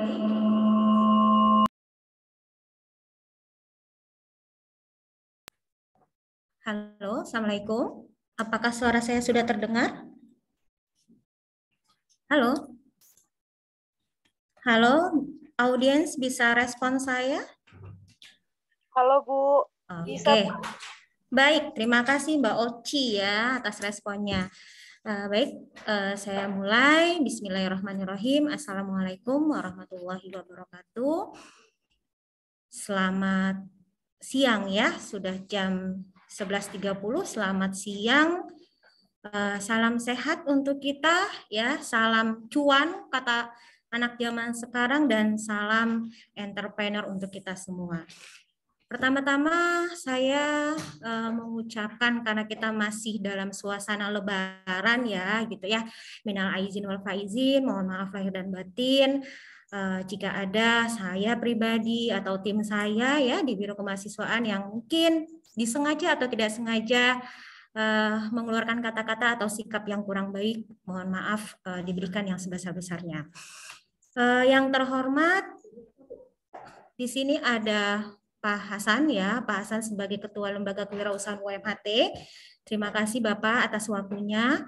Kemudian yang saya hormati juga para pembimbing ya, pembina, kemudian ada juga Kaprodi, ada Sekprodi juga ya di lingkungan Universitas MH Tamrin dan yang saya banggakan adalah calon entrepreneur masa depan gitu ya. Mudah-mudahan kita yang ikut pada kegiatan hari ini utamanya adalah mahasiswa bisa mewujudkan 10 tahun ke depan datang ke UMHT dan menyampaikan bahwa saya sudah menjadi salah satu entrepreneur terbaik di Indonesia. Amin, amin ya. Mudah-mudahan itu bisa terwujud.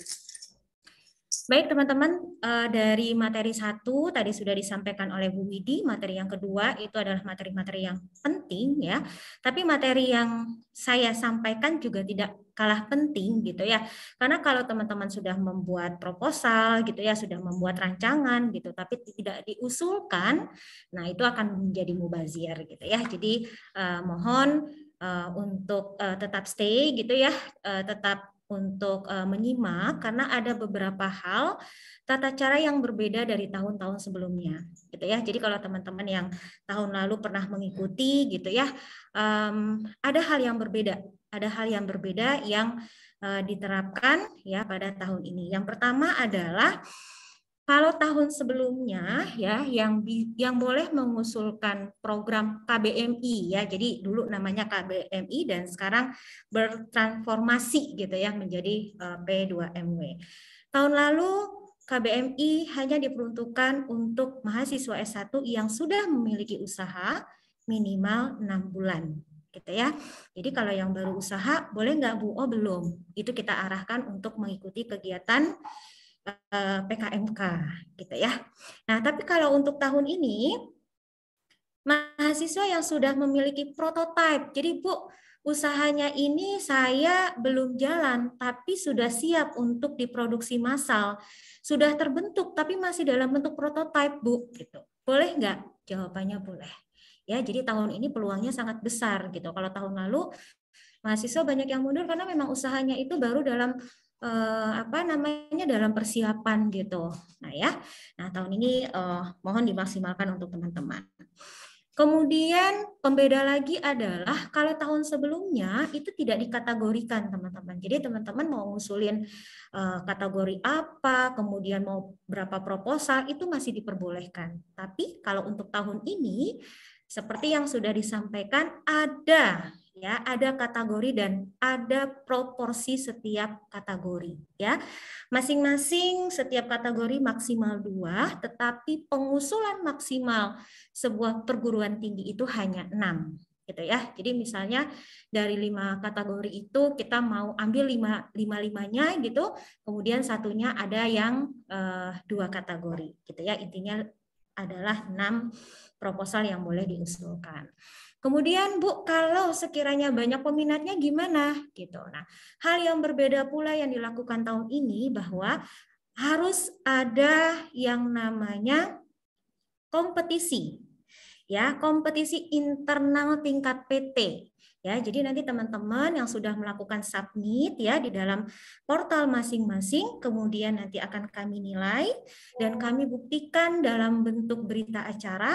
Nah, yang dianggap layak untuk mewakili UMHT itu akan uh, kami submit ya, kami lanjutkan ke uh, pusat ya. Jadi bukan berarti teman-teman melakukan submit Lalu proposalnya udah masuk semua ke pusat? Enggak. Proposalnya masuk dulu ke kami sebagai operator, kemudian kami nilai, lalu kami uh, tentukan apakah layak atau tidak. Yang layak kami lanjutkan untuk bisa disubmit ke uh, sistem pusat, gitu ya.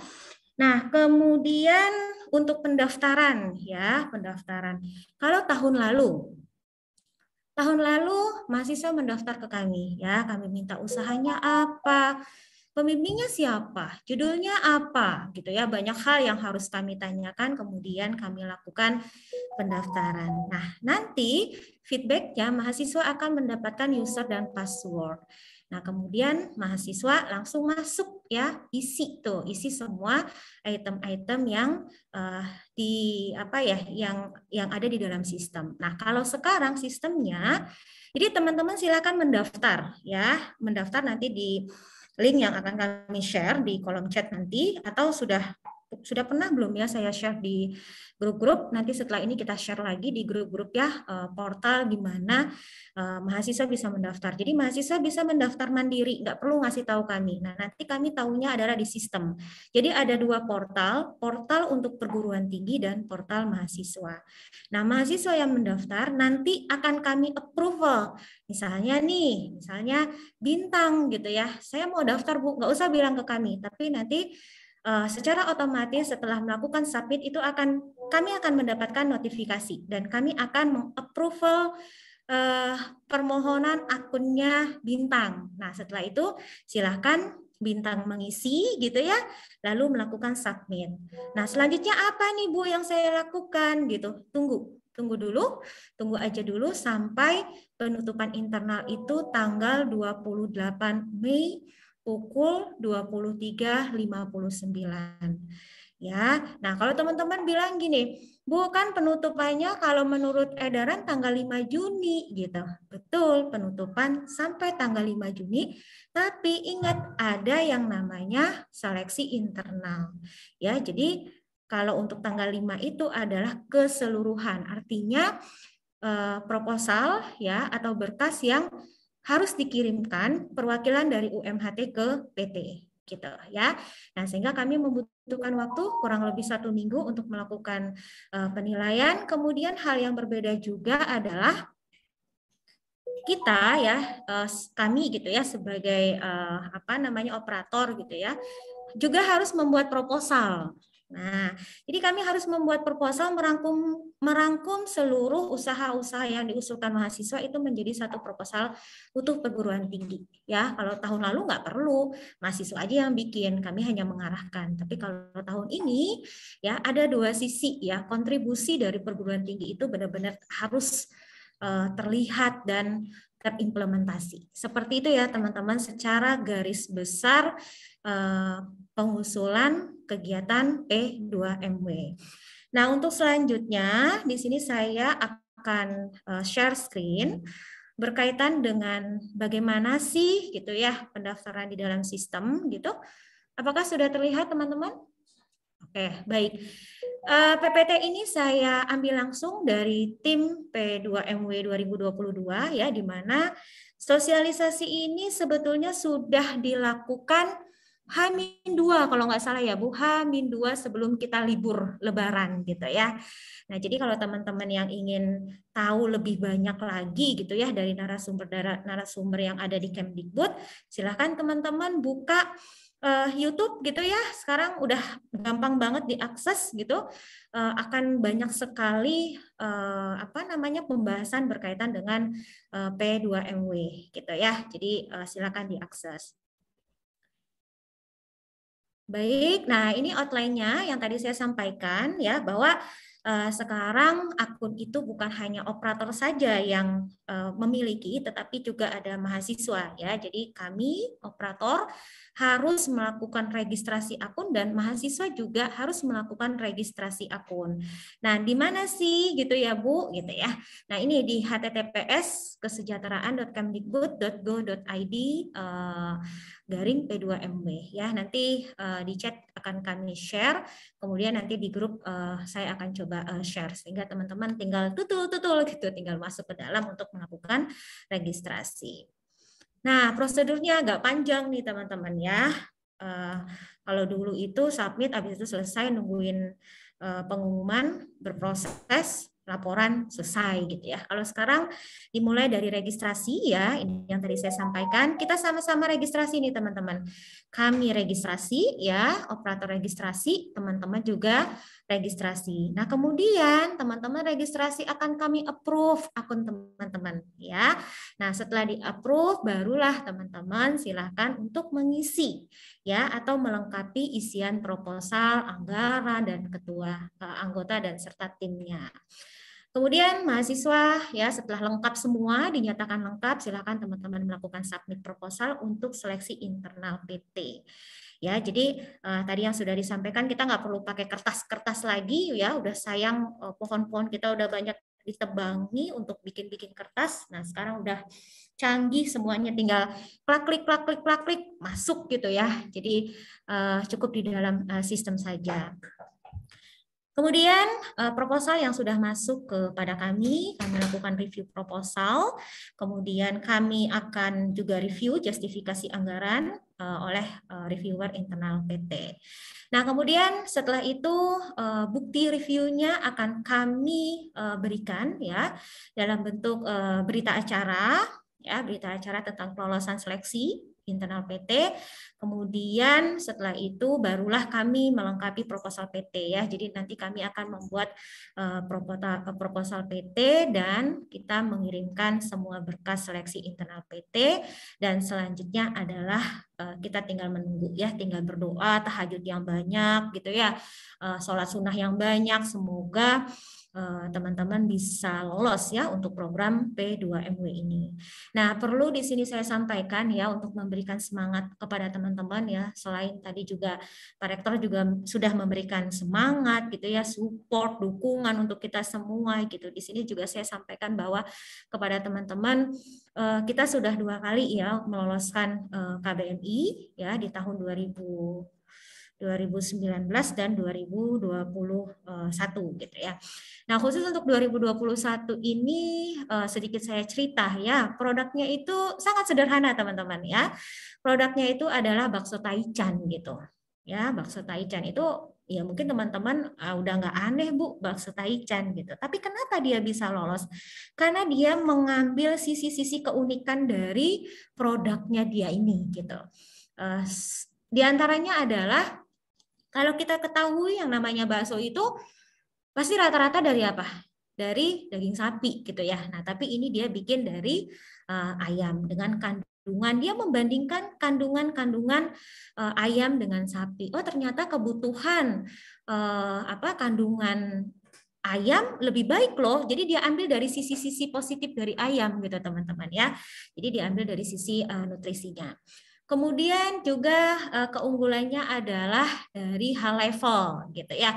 Kalau yang udah-udah ya mungkin bakso itu ya udah pedas kita tinggal tambahin aja sambal sausnya gitu. Tapi uh, tim ini uh, membuat satu apa ya satu yang berbeda bahwa dia ada level gitu ya level 1, level 2 gitu ya dan uh, seterusnya. Nah jadi itu bisa lolos sampai waktu itu mereka mendapatkan uh, 10 juta. Jadi hal-hal yang sederhana aja teman-teman uh, pikirkan gitu ya terus kemudian kembangkan dengan menggunakan metode bisnis canvas gitu ya. Kalau kalau bisnis canvas itu sudah dibuat ya tadi sudah disampaikan oleh Bu Nina ada 9 item yang harus di dipenuhi gitu itu akan enak banget melihat usahanya akan kelihatan nih usahanya targetnya siapa sih sasarannya siapa sih kemudian di mana sih ini mau dijual belikan gitu. Nah itu akan uh, uh, terlihat gitu ya. Nah baik Kemudian ini registrasi akun operator ya, ini untuk kami saya lewatkan saja. Saya langsung ke mahasiswa saja.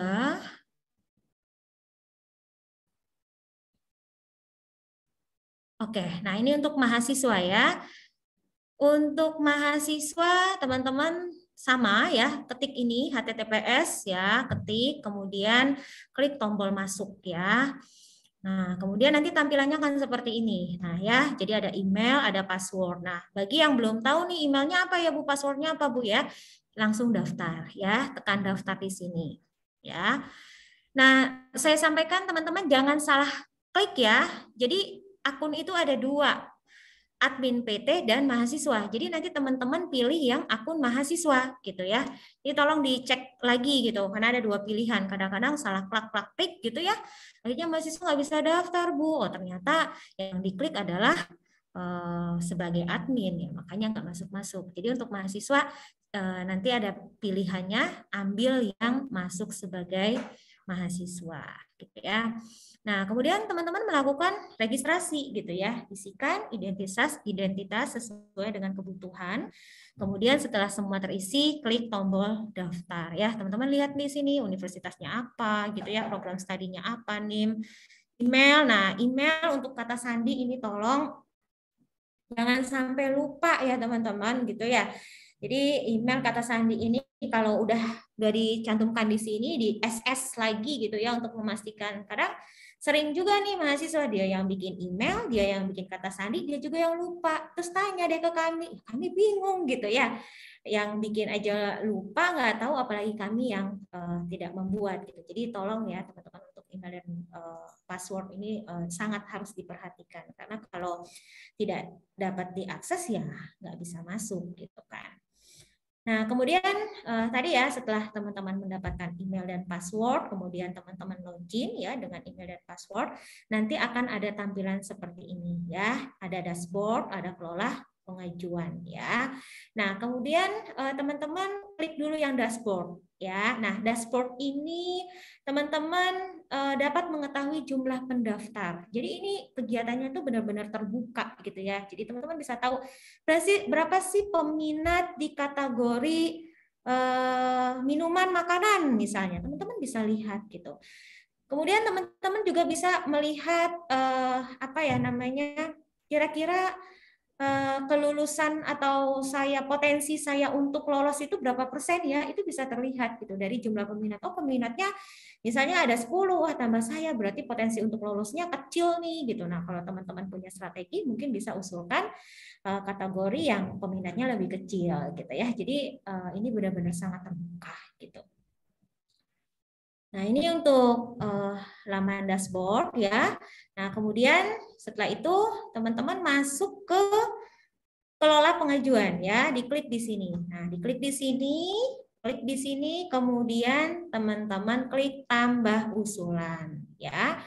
Nah, klik tambah usulan itu akan muncul seperti ini gitu ya teman-teman. Silahkan berproses. Judul bisnisnya apa dosen pembimbingnya bagaimana. Nah untuk dosen pembimbingnya masukkan NIDN dosennya ya. Nanti secara otomatis itu akan eh, kalau memang benar gitu ya eh, NIDN-nya itu secara otomatis akan muncul nama dosennya ya nama universitasnya itu apa dan untuk pembimbing adalah dosen yang ada di lingkungan Universitas MH Tamrin. Ya, jadi uh, saya ulangi adalah dosen perguruan tinggi UMHT. Nah, dosennya itu boleh nggak Bu? Misalnya saya kan FGIP, tapi boleh nggak saya dosennya yang ada di FKes? Boleh.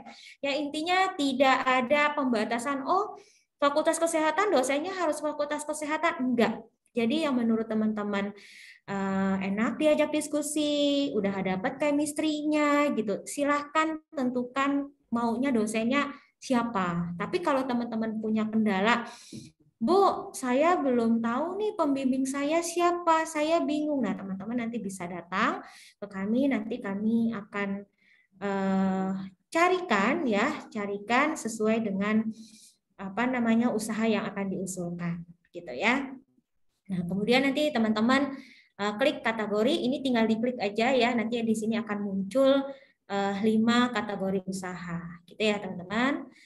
Kemudian ya, kemudian nah teman-teman eh, deskripsi ya mengisi tentang latar belakang ya sesuai dengan kriteria dan panduan yang telah ditetapkan pada bagian deskripsi ya di sini udah ada pertanyaan nih sebenarnya walaupun teman-teman tidak membaca panduan lagi gitu ya untuk mengisi di sini uh, sudah ada bagaimana ini menjelaskan secara detail tentang profil singkat usaha dan latar belakang mengapa bisnis tersebut didirikan ya meliputi kategori usaha, kondisi perkembangan usaha saat ini, struktur organisasi usaha dan sejarahnya seperti apa.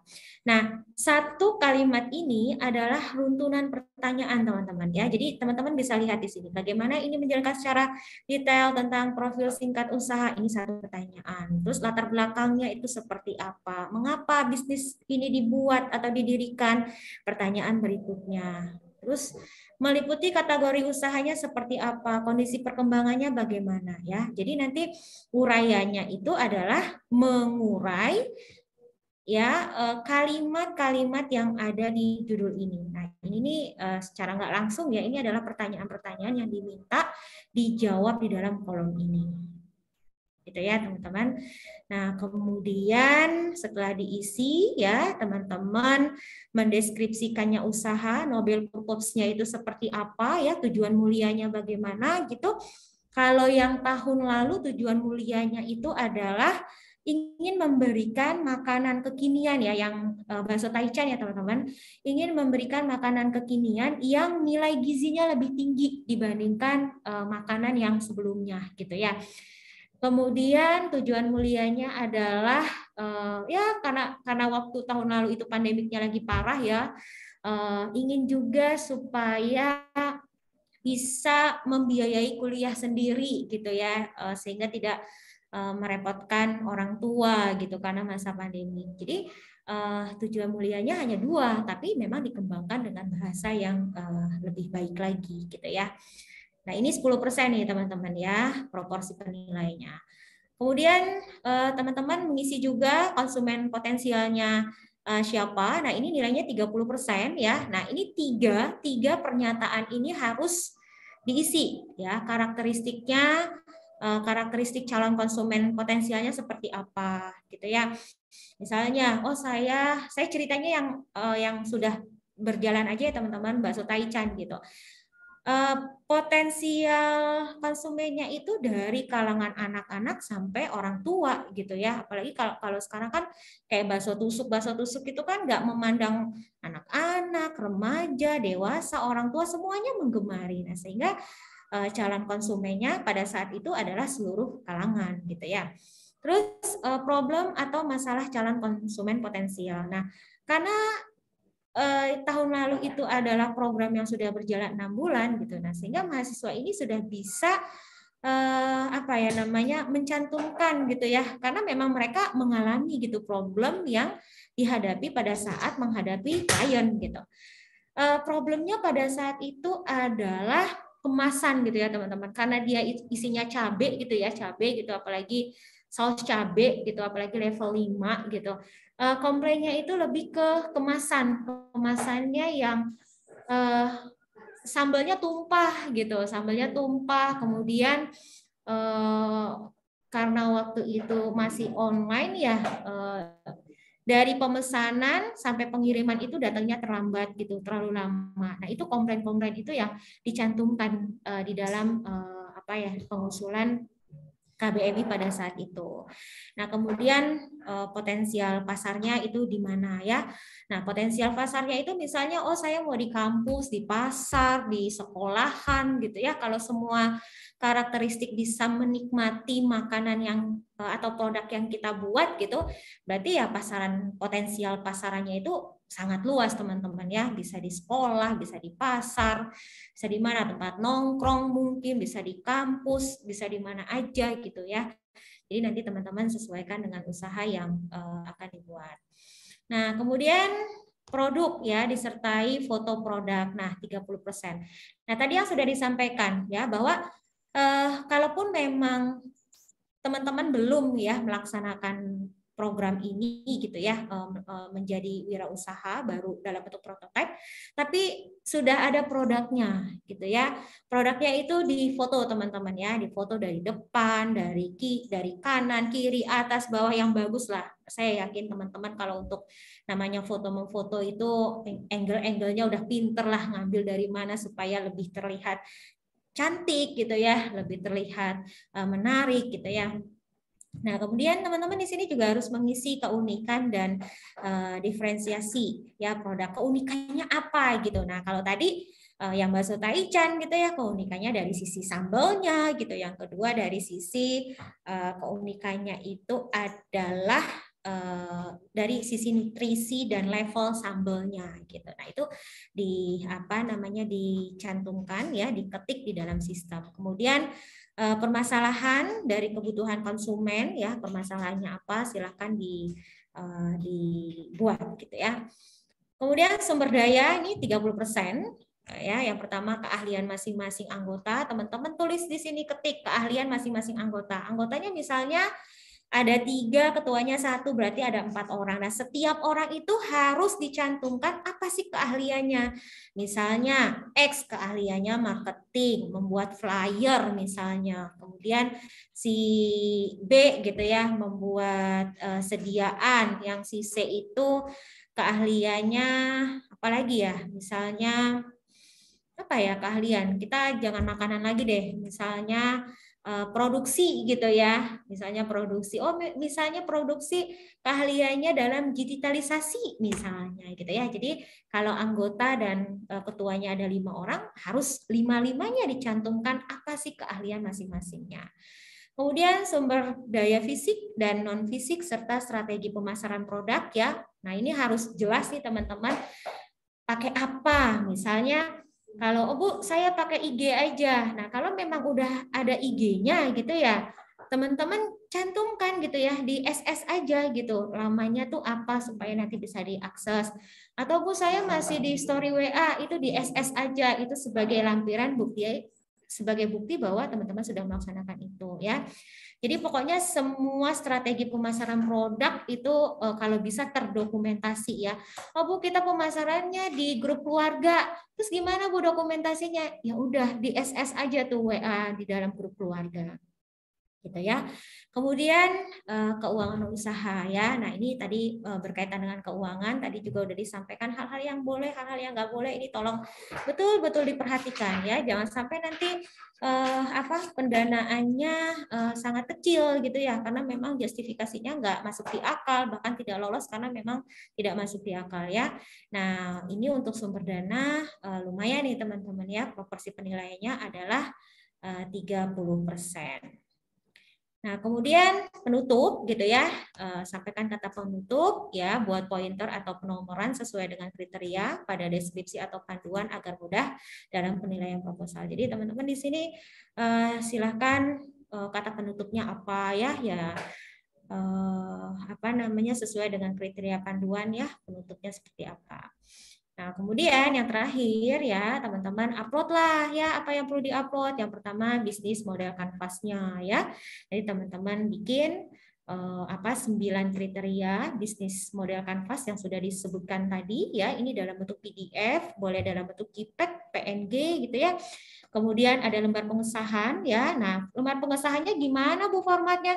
Semua udah ada di dalam panduan gitu ya. Jadi eh, teman-teman tuh udah enak banget gitu. Pokoknya modalnya baca aja deh, baca, pahami udah.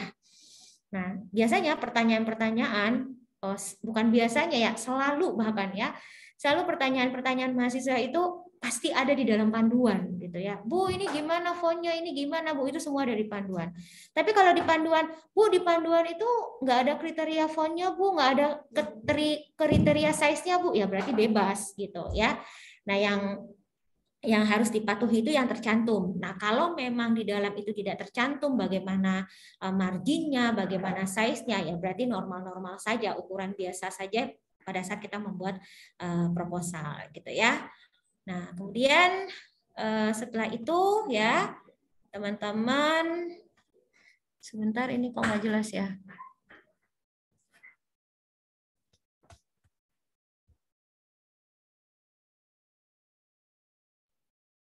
Ya, teman-teman melakukan pengajuan ya, pengajuan proposal setelah diisi. Ya, nah di sini setelah eh, teman-teman tadi submit, nah di sini ada tombol ya, ada enam tombol. Nah, kalau tombol yang pakai mata ini kalau ngintip-ngintip gitu ya, mau ngeliat lagi tuh proposal yang udah dikirim bener nggak ya gitu. Kemudian kalau ini ya kayak uang, teman-teman mau lihat kelola keuangan, kemudian uh, di sini adalah kelola tim ya. Ini yang kemudian uh, hapus kalau ingin ah kayaknya proposalnya uh, mau saya hapus deh. Nah, udah hapus, kemudian ada submit ya. Jadi di dalam uh, apa namanya registrasi berikutnya gitu ya hal yang harus dilakukan berikutnya ini ada lima lima uh, apa namanya lima tombol yang harus diperhatikan.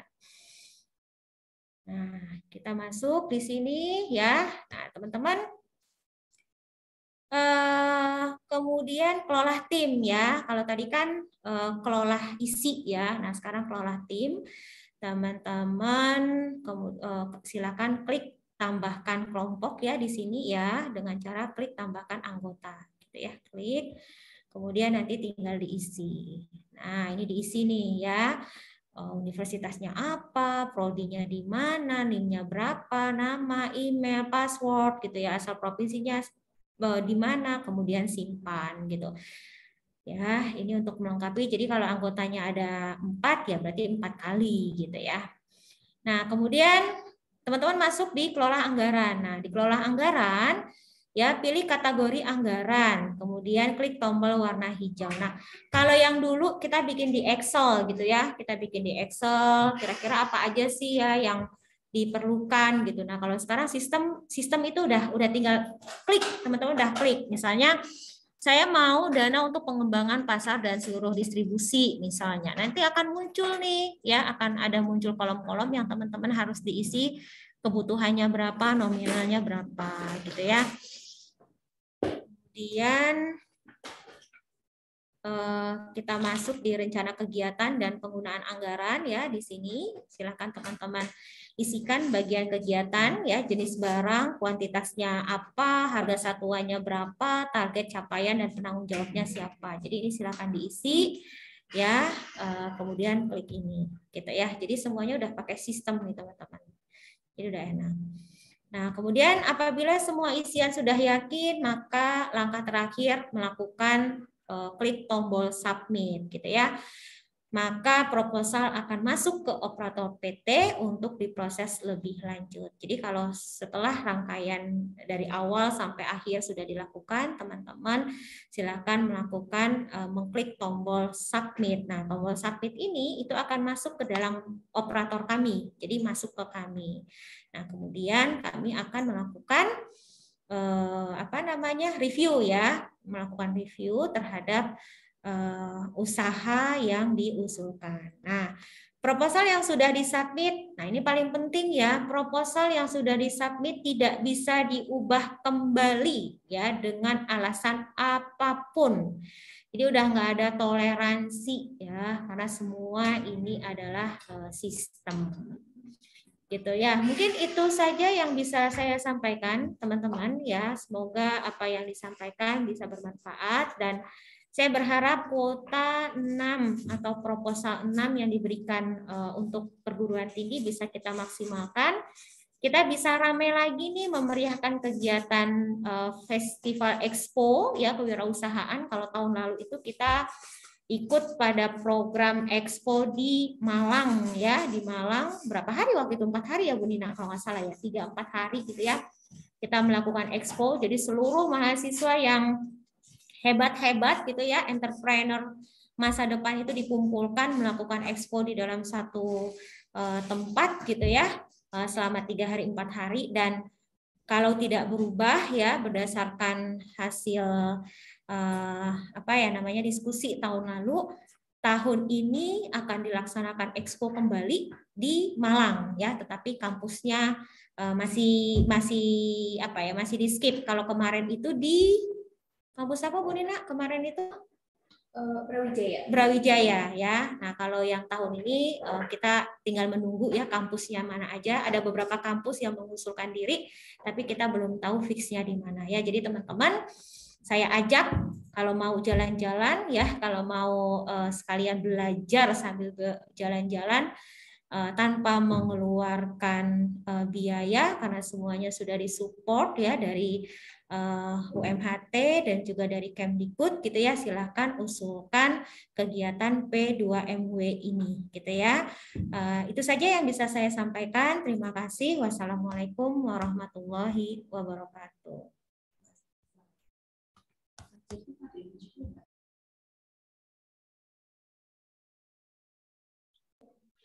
Waalaikumsalam warahmatullahi wabarakatuh, Bu Ocha. Uh, terima kasih Bu Ocha atas uh, paparannya. Uh, teknis sekali ya, sampai mudah-mudahan sampai dengan sebelum tanggal 28 ya, sudah bisa memaksimalkan sejumlah enam proposal. Yuk teman-teman, uh, tetap semangat ya, uh, apa namanya, proses untuk uh, upload apa namanya P2MB ini tidak seperti hibah yang lain tidak harus membuat proposal jadi harus uh, langsung ya mengisi di sistem. Jadi apa yang ditanyakan itu yang dijawab. Uh, saya lihat juga ada beberapa mahasiswa yang sudah chat ke kami ke biro kemahasiswaan. Uh, ada beberapa yang sudah mempunyai uh, usaha ya ajukan segera gitu ya Baik, teman-teman, saya hanya mengingatkan Bapak, Ibu, dan mahasiswa untuk mengisi link presensi ya yang sudah kami uh, post di kolom chat. Uh, saya lihat di kolom chat belum ada pertanyaan. Mungkin apa yang disampaikan oleh para narasumber itu sudah jelas sekali gitu ya. Uh, jangan sampai uh, saya mengingatkan kembali jangan sampai sudah di mepet-mepet waktu itu bertanya gitu ya karena akan sulit sekali karena biasanya kalau sudah mepet, mepet waktu itu eh, apa namanya kita mau buka ataupun mau input itu agak susah. Jadi teman-teman jangan sampai mepet waktu. Oh ya, di sini saya perkenalkan juga ada Mas Fajar. Mas Fajar ini uh, penerima uh, lolos hibah KBMI tahun berapa ya Bu Oca ya? 2019 dan uh, eh, KMI Expo-nya di Batam ya, kalau saya tidak salah ya, Bu Ocha ya. Ada Mas Wajar. Halo Mas Wajar. Iya, Bu. Iya. Iya, Bu. Iya, ini Mas Wajar nih. Uh, uh, apa namanya? Uh, mudah-mudahan teman-teman uh, apa namanya bisa berbelajar, kemudian barangkali mungkin KBMI itu seperti apa ya, karena ini sudah bertransformasi menjadi P2MW gitu ya. Kalau ingin sharing-sharing eh, di sini Mas Wajar ya. Mas Wajar mudah-mudahan ya, eh, teman-teman di FEB ya di Fakultas Ekonomi dan Bisnis ini eh, apa namanya banyak yang mengajukan untuk P2MW ya Mas Wajar ya. Nanti kalau ada teman-teman ya, mahasiswa yang bertanya uh, di apa ya dirangkul dirangkul dan di apa diarahkan. Mohon bantuannya. Insya Allah siap bantu support juga. Ya terima kasih Mas Wajar ini yang punya aplikasi Growback ya. Saingannya Gojek. Baik ada yang bertanya kira-kira Mbak Mas semua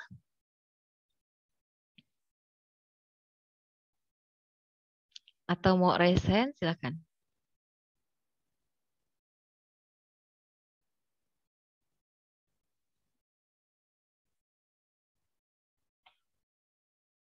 Dan materi sudah kami posting juga nanti untuk uh, yang apa namanya? Yang sudah mengisi link absensi akan kami berikan sertifikat dan akan kami kirimkan via email masing-masing.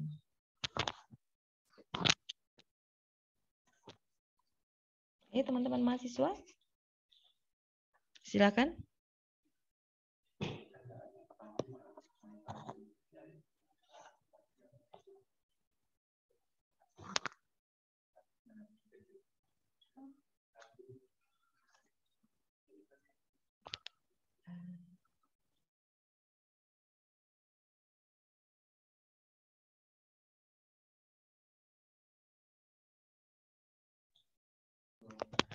Yang dari Fakultas Ekonomi Bisnis ada? Jangan sampai nggak mengajukan ya.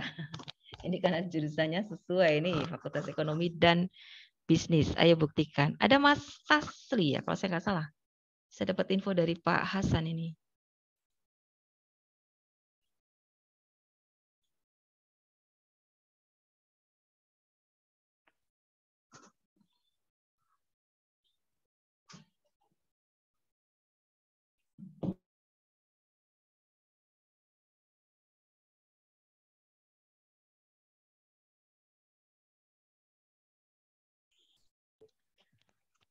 Baik, bila tidak ada pertanyaan, uh, mudah-mudahan cukup jelas ya. Uh, Biro Kemahasiswaan uh, sudah tahu ya, nanti kalau misalkan ada yang mungkin ingin ditanyakan, bisa hubungin kami ya. Baik, saya akhiri acara sesi untuk paparan dan tanya jawab. Dengan demikian, selesai sudah acara eh, apa namanya sosialisasi P2MW dengan tema Entrepreneur are made not born ya. Eh, dengan simpulan melakukan pembinaan motivasi dan menumbuh kembangkan wirausaha kepada mahasiswa. Ini sesuai dengan visi dan misi dari Universitas Muhammad Tusi Tamrin ya. Kemudian kita ikut support yuk sama negara kita sendiri. Eh, mudah-mudahan Indonesia tidak menjadi negara yang paling bawah ya untuk uh, supporting uh, menjadi seorang entrepreneur ya. Semangat uh, sikap kemampuan seorang dalam menangani usaha atau kegiatan yang mengarah pada upaya mencari, menciptakan, menerapkan cara kerja, teknologi dan produk baru dengan meningkatkan efisiensi dalam rangka memberikan pelayanan yang lebih baik dan memperoleh benefit yang lebih baik lagi dengan menjadi seorang entrepreneur. Baik, saya akhiri dengan uh, pantun ya, makan malam bersama-sama, suasananya nikmat rasa. Jadilah kamu wirausaha supaya bisa serap tenaga kerja. Ini sesuai dengan pesan yang disampaikan oleh Pak Rektor tadi. Ya, kemudian ibu kota namanya Jakarta, kota pahlawan namanya Surabaya. Jika di negara uh, Republik ini banyak pengusaha maka negara Indonesia akan berdaya. Sampai jumpa lagi, salam sehat. Eh, siapa pun kita, di mana pun berada, sehat dan menjaga kesehatan harus diutamakan. Saya atas nama seluruh panitia sosialisasi P2MW hari ini, mengucapkan terima kasih atas kehadiran Bapak, Ibu, mahasiswa, dan para hadirin semua. Wassalamualaikum warahmatullahi wabarakatuh. Waalaikumsalam warahmatullahi wabarakatuh.